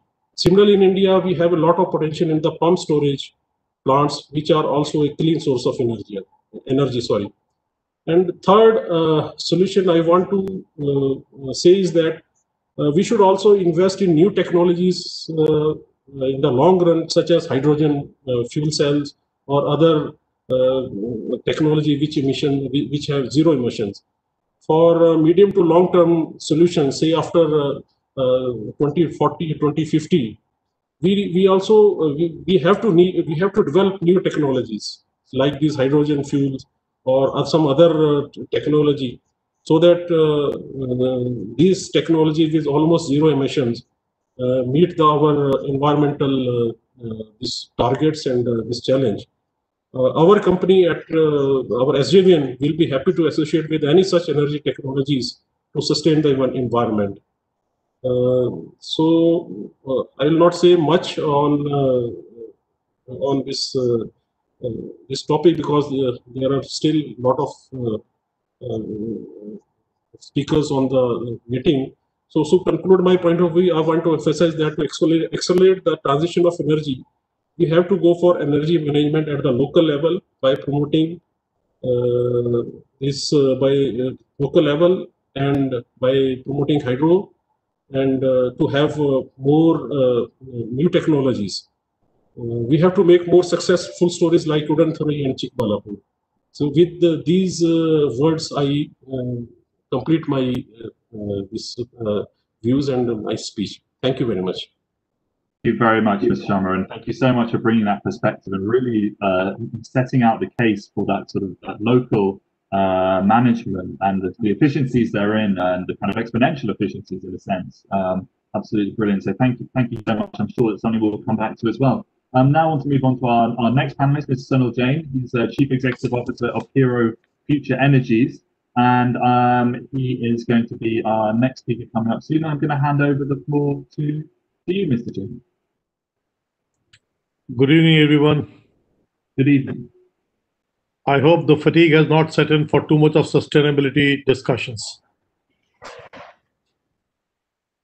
You know, so what I would be speaking is I won't go into too much of data and numbers of what India has done or what others have done. But I'm going to talk about a broader picture. First, on a country levels, we must all realize that it has taken, you know, years of cross-governmental negotiations to arrive at that Paris climate change agreement. No doubt, a great breakthrough was achieved to have a low carbon planet and economies around the world. But it is also a fact that all the targets agreed by various countries, majority of them have been missed. And not by one, but many of them. But it is also a fact that post that agreement, the deployment of renewables for a transition to a more cleaner energy definitely took pace. India is a large economy with large industrialization and with the focus of the current government to supply 24 into 7 power to the 1.4 billion people of the country is a humongous task. And we believe that renewables, even though being deployed in large numbers, cannot fulfill that ambition of the government, which is another part of a sustainable development goal, where you provide a minimum electricity to the have-nots of this world. So, with India's energy basket comprising mainly of oil and gas, coal-based power, and now a portion of it, even if it is 10% renewables. The fact is that if India has to transit, or for that matter, the entire development world has to transit into renewables, the availability of the capital, which my earlier panelist, even Sumant Sinha mentioned, has to come from somewhere. The underdevelopment countries cannot have that kind of capital available. And unfortunately, some of these underdeveloped countries or developing nations, whatever you may want to call them, or the emerging economies, name can be anything, they are struggling on two fronts, providing a livelihoods to the large populations and at the same time trying to deploy capital for climate change mitigations. That capital ultimately has to come from developed countries, which I believe still remains a distant dream. It is coming, but it's fits and starts. It's not enough to really revolutionize the deployment of renewables across the world. Now, therefore, what do we do? We need a sustainable development. And the need of the hour, therefore, is the corporates of this world have to step in. For India, we have seen that there are corporate rules and regulations, the board levels. There have been audit committees, there have been NRC committees, there is now even subcommittees for CSR. But is there any board level sustainable development committee for the corporate? Do we have one?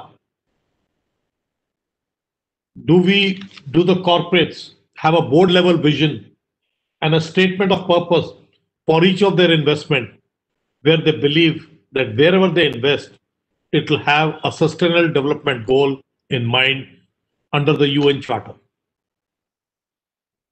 We all know that trillions of dollars are invested by corporates all around the world year on years.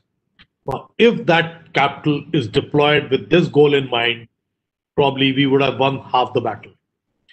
I think so too, it is important for all of us that we take a step and decide what the corporates have to do in that sense.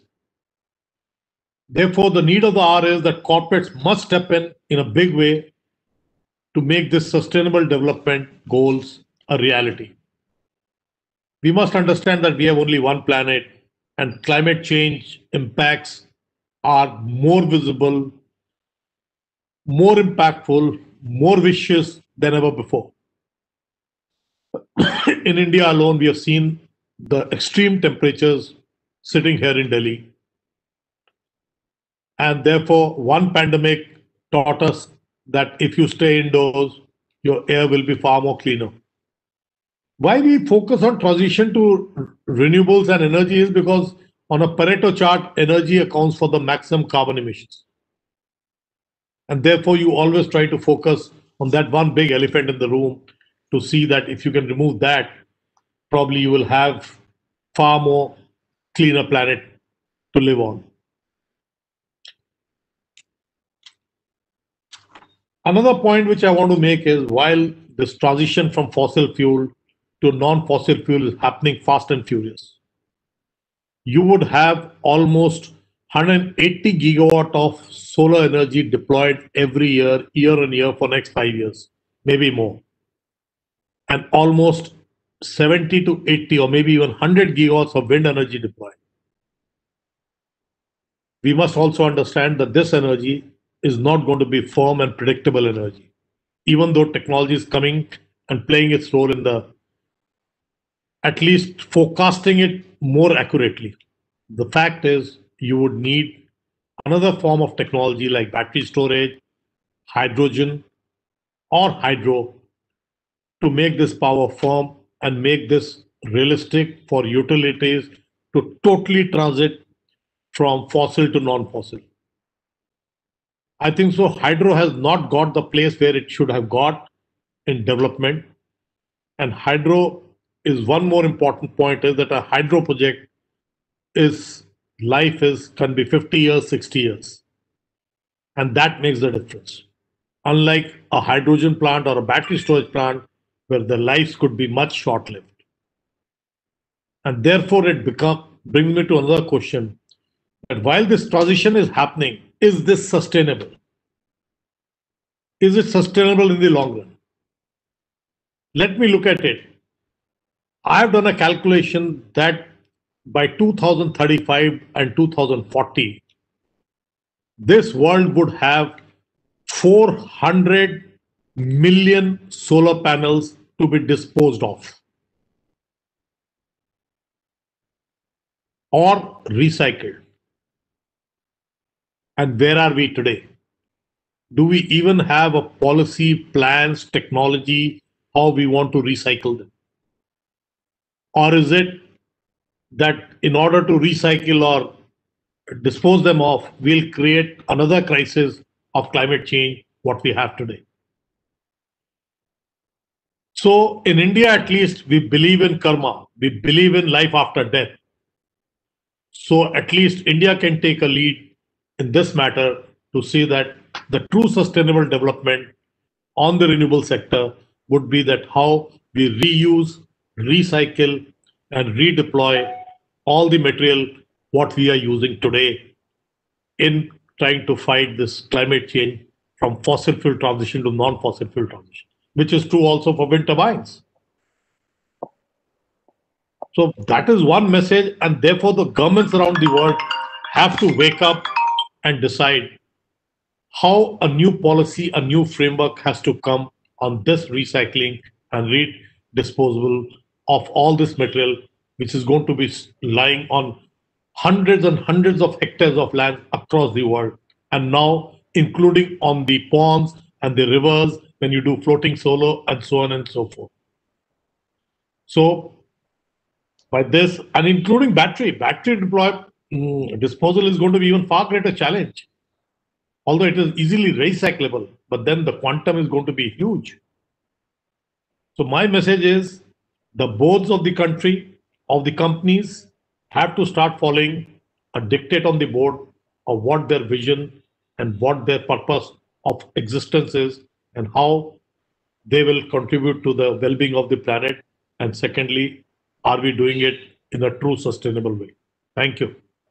Thank you so much, Mr. Jain. And I think your your call for boards actually to really, really think about that transformation piece.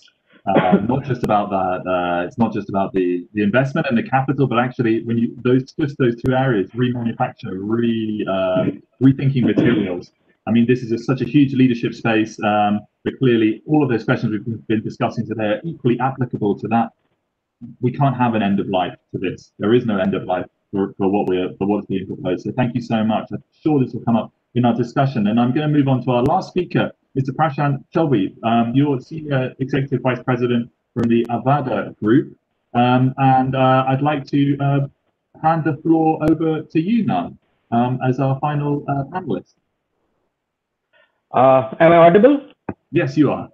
You are. Thank you so much. Uh, good evening, all, and uh, thank you, Institute of Directors, for this wonderful opportunity for discussions on uh, such a relevant uh, issue today, which is in fact a watershed moment for us today.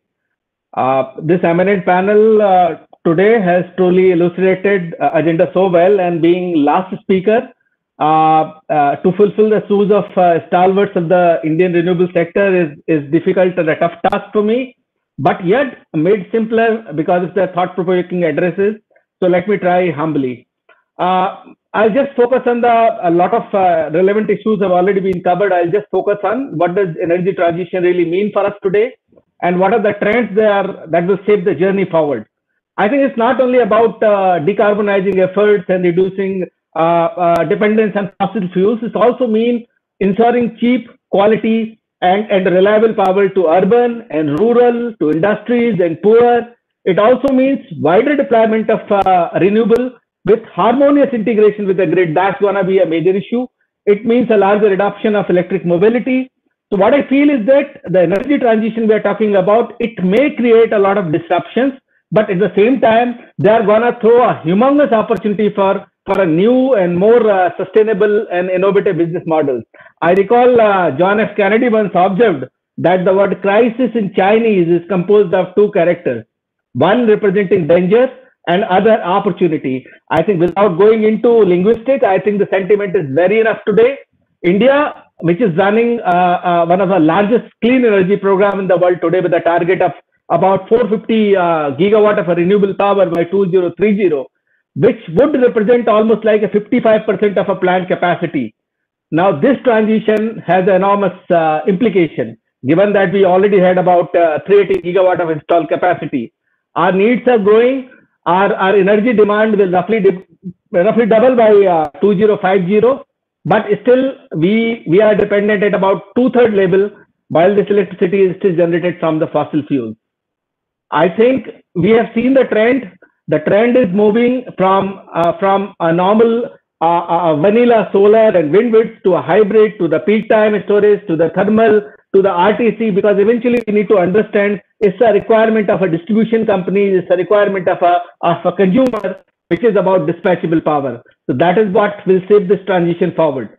I think we have seen the uh, impact of, uh, of, of a pandemic which has uh, shook the entire globe the, the, the 2020 as such was not a great year for the Indian solar sector, which was uh, uh, affected by, by pandemic. What I'm trying to bring is that that pandemic, which has which has slowed down the development activity, the which has brought down the ongoing projects to a grinding halt, which has really shaken the solar supply chains, which has uh, which has led uh, almost like bringing economy to the standstill. That episode is also a part of this transition, right? And we need to keep this in mind. I think uh, this year, the renewables are expected to come back. Uh, the, delayed projects are going to pick up.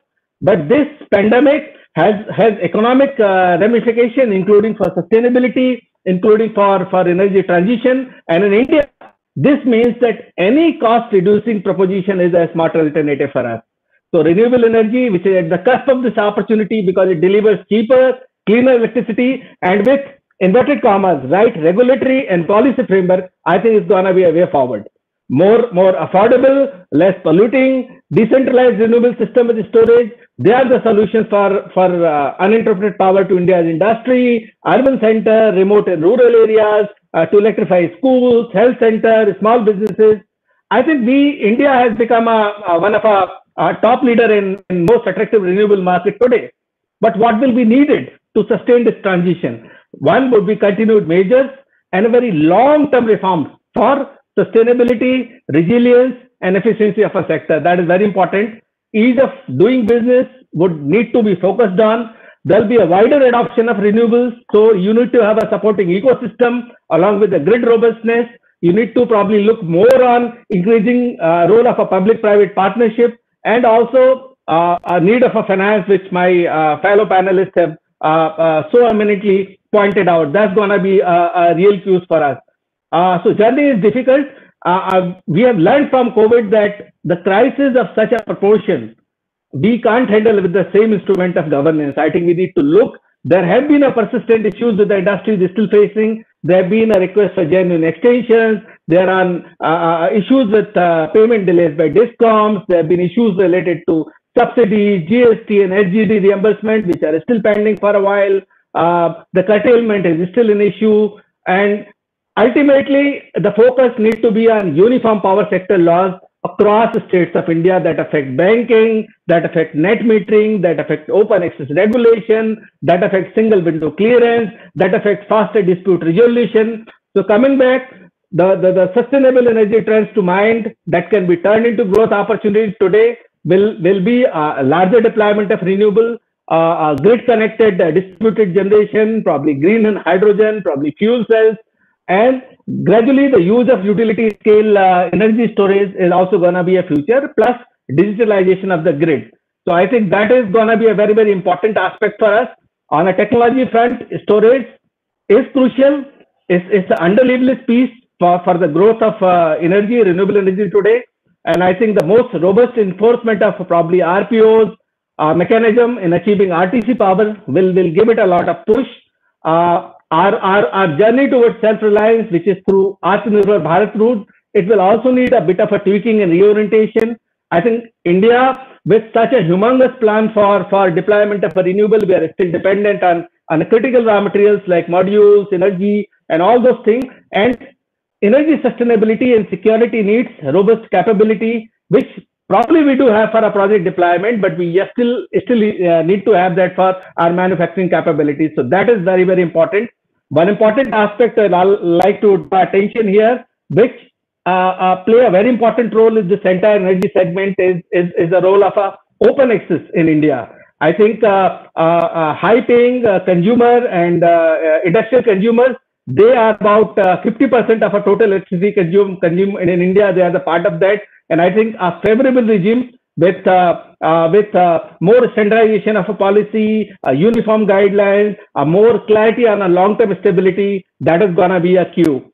my fellow panelists also talked about one sun, one world, and one grid concept. This is very important because that will set the tone and imperative for a very strong uh, transmission and distribution system which can support so much of an influx of a renewable energy that is going to be a paradigm for us so, uh, as our uh, Honorable Prime Minister has, has, has emphasized, that India will not be able to fully use its solar power potential unless we develop better solar panel, battery, storage, and manufacturing capabilities. I think this year onwards is going to be a real time for a transition for our sustainability agenda and how we manage all these issues. I think that is going to uh, set the tone for sustainable energy transition. Thank you very much for your time and thank you very much uh, Institute of Directors for this opportunity today. Thank you.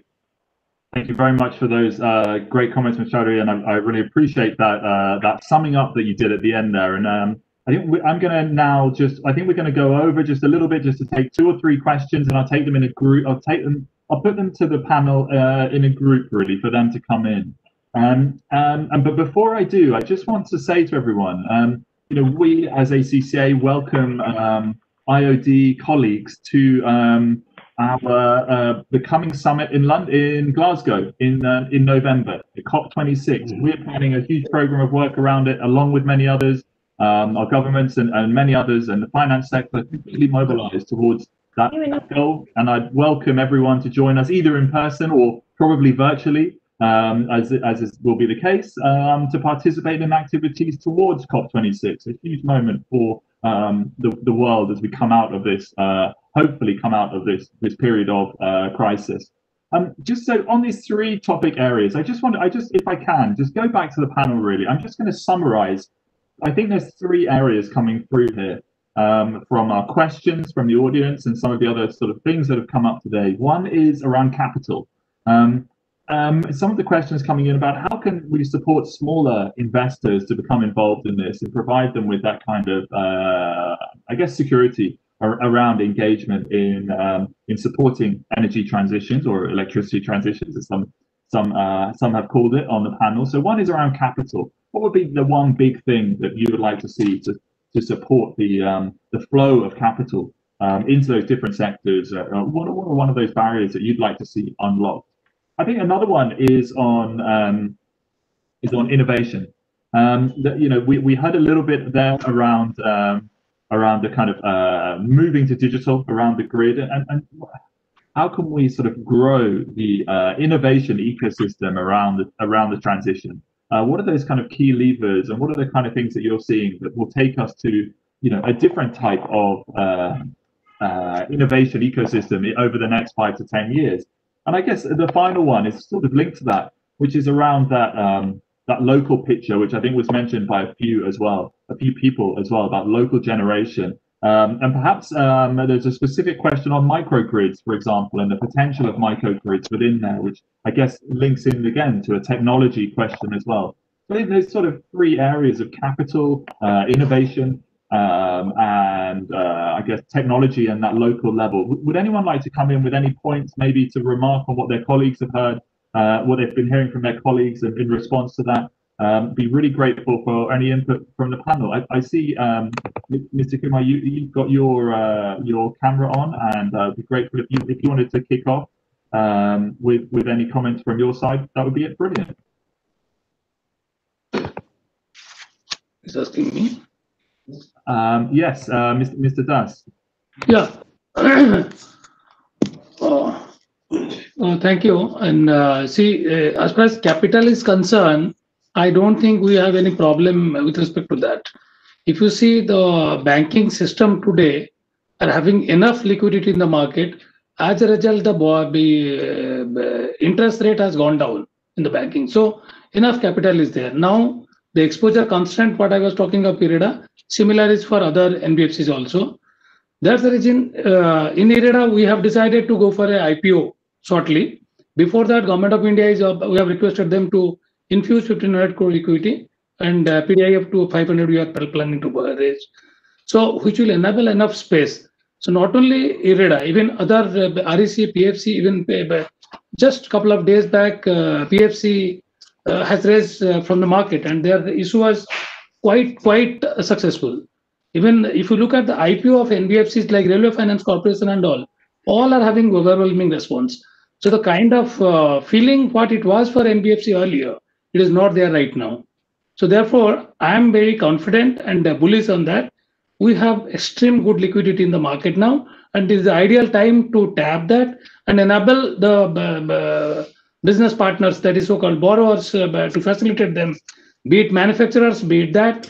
And uh, we have initiated, apart from that fund-based, we are also supporting, like we have decided to go for factoring of uh, business. Yesterday only we had a couple of meeting with EESL, Energy Efficiency Services Limited, and they are very keen. So they have the invoice, they have the guarantee from the government of Goa and all, but they don't have the liquidity with them. So that we are now trying to pitch in that. Similarly, this, uh, as I said, letter of undertaking we initiated, in which replaced the bank guarantee, where otherwise essentially the uh, borrower has to deposit either 100% or 50%, uh, at times even 100% uh, with respect to their creditworthiness. But now that has become a history. We are giving our letter of undertaking. With that, a lot of liquidity has been mitigated to them. So I'm expecting uh, capital will not be a problem at all. See, basically, business is what bridge between supply and demand. We have huge demand for energy sector, and then we have huge supply in the form of deposits in the banks or banking sector today, and no other sector is having that much of growth. So therefore, in this sector, we don't foresee any capital problem. Thank Great. you. Thank you very much for your comments. Uh, and uh, Mr. Jain, you've come on. Radhika's just come on now. Mr. Jain, maybe I could give you you the final word here before we probably have to start wrapping up. Yeah. So, you know, there are mm, what Mr. Das talked about was debt capital. And what the need of the capital is the equity capital, mm-hmm. which is actually the first one to come, and debt comes later on. While I partially agree with Mr. Das that there is a lot of liquidity in the market, but the fact is, no matter the world markets talk about green bonds, green money, but the fact of the matter is there's only one color of money, and nobody cares about whether it is going for sustainable development or it is going for uh, non-sustainable development. The cost of the capital is same, and accessibility to capital is exactly same. Recently, of late, I've been seeing that there's a lot of commitment from private equity funds for ESG governance funds capital if the money and development is for the ESG, then there is capital available, but the cost remains same. My question today to all the NBFCs, banks, and everything is, or for that matter to the governments, is we need a different system of funding. We are going in for a wrong side of funding. We need to fund the under construction projects with the banks and NBFCs, because that's a short term capital it can for short term line and three years post operation it should actually go into the bond or to the markets that is a sustainable model for financing if you try to fund long term projects of 25 years with short term capital of banks and nbfcs you'll always have trouble so we See- must look at that kind of a capital Right. Thank you. I'll Thank you pitch very in, much. I'll to uh, if it's uh, the our respectable uh, participant uh, speakers here, say uh, Mr. Jain. IREDA is already having this facility, project-specific funding, which is short-term loan, which is for the construction cap uh, uh, uh, stage only. So under construction project, IREDA is having that policy. Even now, PFC and REC has been mandated by Honorable uh, uh, Minister of Power and MNRE to have that policy. So NBFCs are already doing, and IREDA has been doing this for quite long. And as a matter of fact, our b- b- couple of borrowers who have been uh, enabled this facility for, to- for their survival, in fact. So it is already there. It is not, it's not that I don't agree that it is not there. And we are further strengthening it. And uh, we have now dedicated division for looking into this activity. Well, thank you very much for coming back in on that question. I'd like to ask the panelists if anyone would like to come in on the question of microgrids. Um, if anyone has any uh, expertise in that area, as it was a question that came from the audience, we um, very grateful for someone to pick up. I know we talked a little bit about um, feeding back into the grid as well. Um, that, that came from someone. If anyone would like to pick that question up, they're very they're most welcome uh, to do so. Um, and I believe someone has just come off. I will. Um, if if there's no takers for that particular question, um, I, I guess maybe if we've just got time for, for another question in here, which was just on um, just on the manufacturing side. Perhaps if um, if we could think about just how do we scale that manufacturing uh, nationally? Um, we heard about those those subsidies that were happening in the Chinese market, and and also um, the need for thinking about um, uh, the remanufacture side of things as well. Perhaps if uh, Mr. Kheruka is, is still on the line, what would he? If, um, I'm, I'm not entirely sure if he is still on the line here today. Um, we could hear a little bit if anyone knew has any thoughts on sort of scaling that national capacity um, to meet the demand. That would also be something I think would be really interesting to cover as well. Ah, yes. Mr. Chowdhury, uh, is that a question for yourself? Or Yeah, I yeah, I think uh, uh, uh, manufacturing capabilities has been has been an issue for us a while, and I think uh, uh, such kind of investment uh, will require a very long-term commitment and a very long-term sustainable demand. I think that is a cue. And uh, another thing is that something like a model which the Chinese the government has run a top runners uh, program where they focused on continuous technology upgradation. I think that is was something because there is a huge investment, and by the time you make an investment, your your uh, module capacity will get changed. So I think that continuous technology upgradation is actually in queue.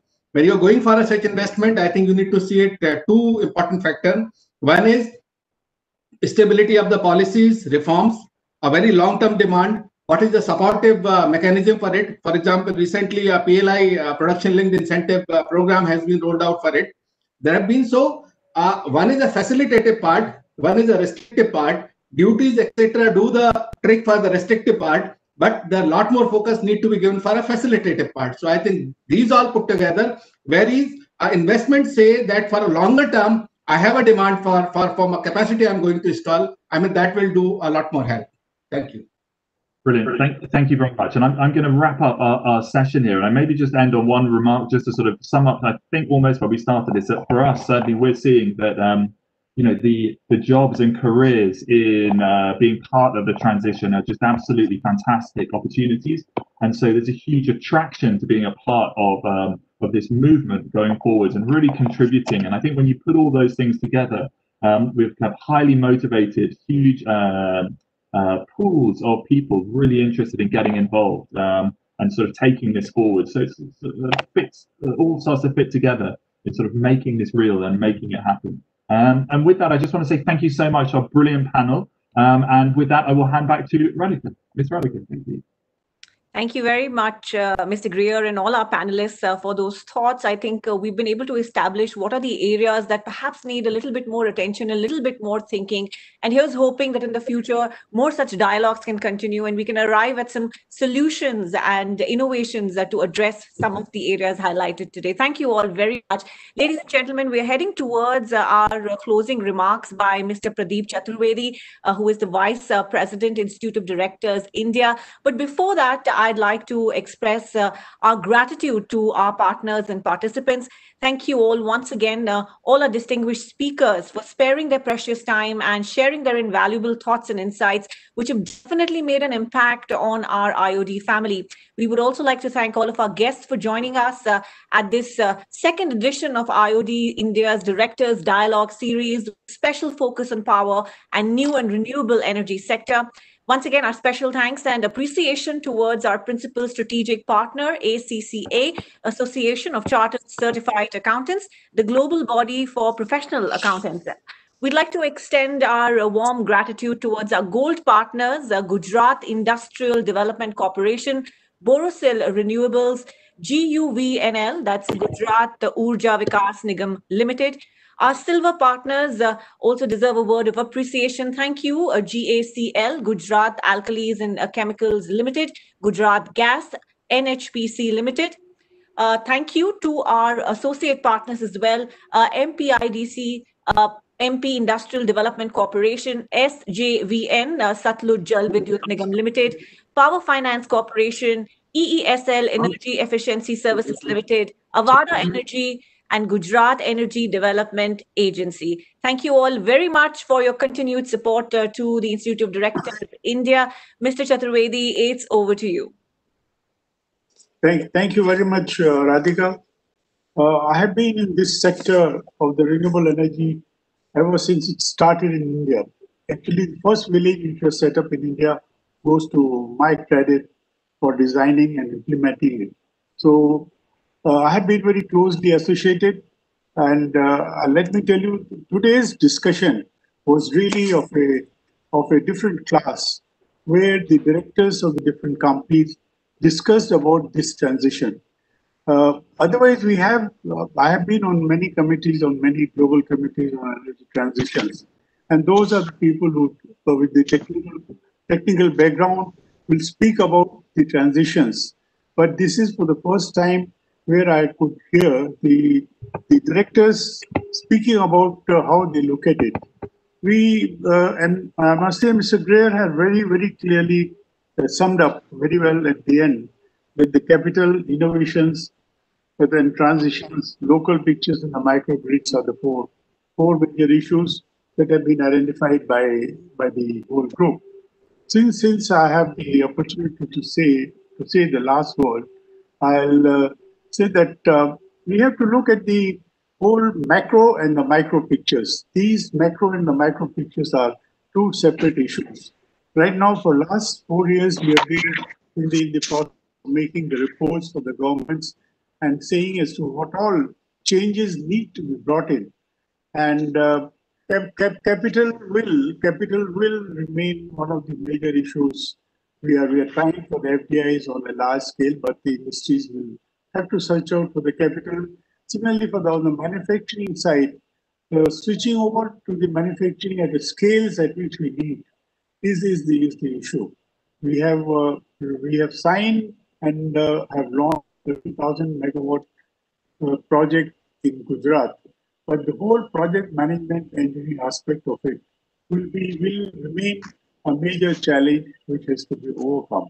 You know, in 2012, when they were deciding on the on the goals for the two sustainable goals for 2030, they thought that uh, what they had missed over the last 20 years from Rio discussion from 1992 was the was the business partners. So they made business as an important fourth enabler, and they're looking that the businesses have to play an important role, which is supplementary to what the governments are doing, what the financial the international agencies are doing. So businesses have to reflect in the global and the Golden Peacock Awards uh, assessments. We have observed that ports have started playing their crucial role And uh, that's a very important issue. But let me tell you, I mean, all those who have spoke this uh, this evening, they have really given the insight into into how the boards will be looking into it, and it shows that our companies are quite geared up for the for the occasion. In, uh, actually, at six o'clock, I was supposed to have started speaking at a at a forum at a global forum of the World Federation of Engineering Organization under UNESCO on engineering challenges for renewable energy transition to 2030. I told them I'll start in the two weeks. I thought let me have the last word here before I have the first word in the other forum in, uh, in another two, three minutes. I have, on behalf of the Institute of Directors, I have great pleasure to thank Mr. Upen Tripathi, uh, who has been uh, extremely uh, instrumental in setting up many of these systems into the government on uh, development of the renewable energy. Mr. Ashish Upadhyay, who is the additional secretary and financial advisor, Ministry of Power. Mrs. Radhika Jha, IAS secretary from the Uttarakhand state, having projected what the state, how the state government looks at it and how they could be really uh, in addition to what the central government is doing, how the state governments could be very, very effective. And uh, we have, we were really honored to have listened to Mr. Uh, Saurabh Patel, the Honorable Minister of Energy, Government of Gujarat, speaking about how Gujarat is taking the initiative for a long term and a, and a, um, and a very improved way of doing things in a big way. These galaxy of uh, speakers open up the discussion for us. Uh, obviously, the directors is really grateful. The stage that was set by them was really followed up by G.B. Greer, who, were, who, is, who has been a partner on behalf of the ACCA, which is a, a constant partner of, uh, of the Institute of Directors for all important discussions. And he, today he played a very important role of moderating the discussions and the eminent speakers and the directors, Mr. Pradeep Kumar Das of the IREDA, Mr. Vijay Karia of Ravin Group, Mr. Pradeep Kheruka of Borosil, Mr. Sumant Sinha of ReNew Power, Sushil Sharma of SJVN, Mr. Sunil Jain of Hero Future, Mr. Prashant Chaudhary of Avaada Group. They have added and presented the great, tremendous amount of uh, information, knowledge, and the way forward. These are these are really the luminaries and the icons of this whole sector who have been into it for such a long time. Since I've been into it for the last 40 years, I know the contribution of each one of them. I mean, it's very rare to get this galaxy of people at one place at one time, advising us as to what the Institute Directors should be doing. And we'll, we'll be very happy to do all that they have suggested. And uh, we'll like them to be continuously associated. We'll be approaching all of them and we'll look forward to their continued support. Now, this event, this event could certainly be possible with the help, uh, you know, as any other big event that takes place uh, of uh, our ACCA, the Association of Chartered Certified Accountants, the global body of professional accountants, uh, which is our strategic, which was our strategic uh, partner. They have they have been not not only the chartered uh, certified accountant, but they have played a very important role on corporate governance in UK and worldwide. And with us for, for a long time, there are constant partners and there's a knowledge partner too.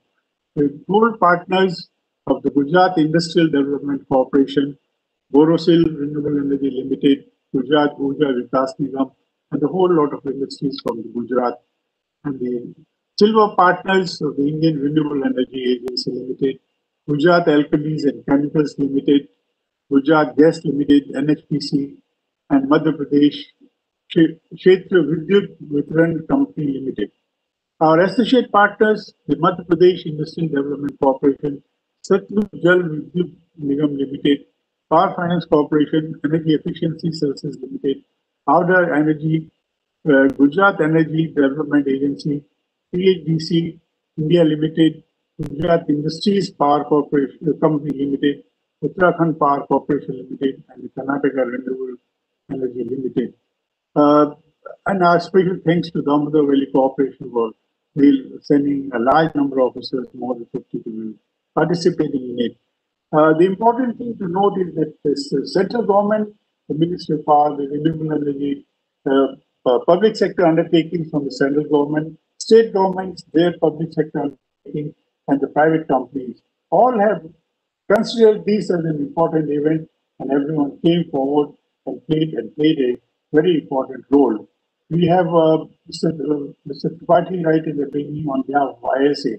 Uh, really, what he presented was a picture uh, in a business-like picture. He said that how the uh, how ISA would be working as an aggregator, which normally is a job which is done by commercial organizations. But the corporatization of ISA is, is the way forward. This is where how the, the governments will be, governments are supporting, larger number of governments are coming in. Governments are also looking at it from that angle. So therefore, we are, we are very happy that uh, we picked up on EESL and then how we are aggregating for many countries and trying to see how the cost can be brought down. This is also the ideology which was followed by China and many other countries to bring down the cost. But this is where uh, IOD is very happy. We'll be, we'll be trying to bring in all aspects of corporate governance into, into this whole thing.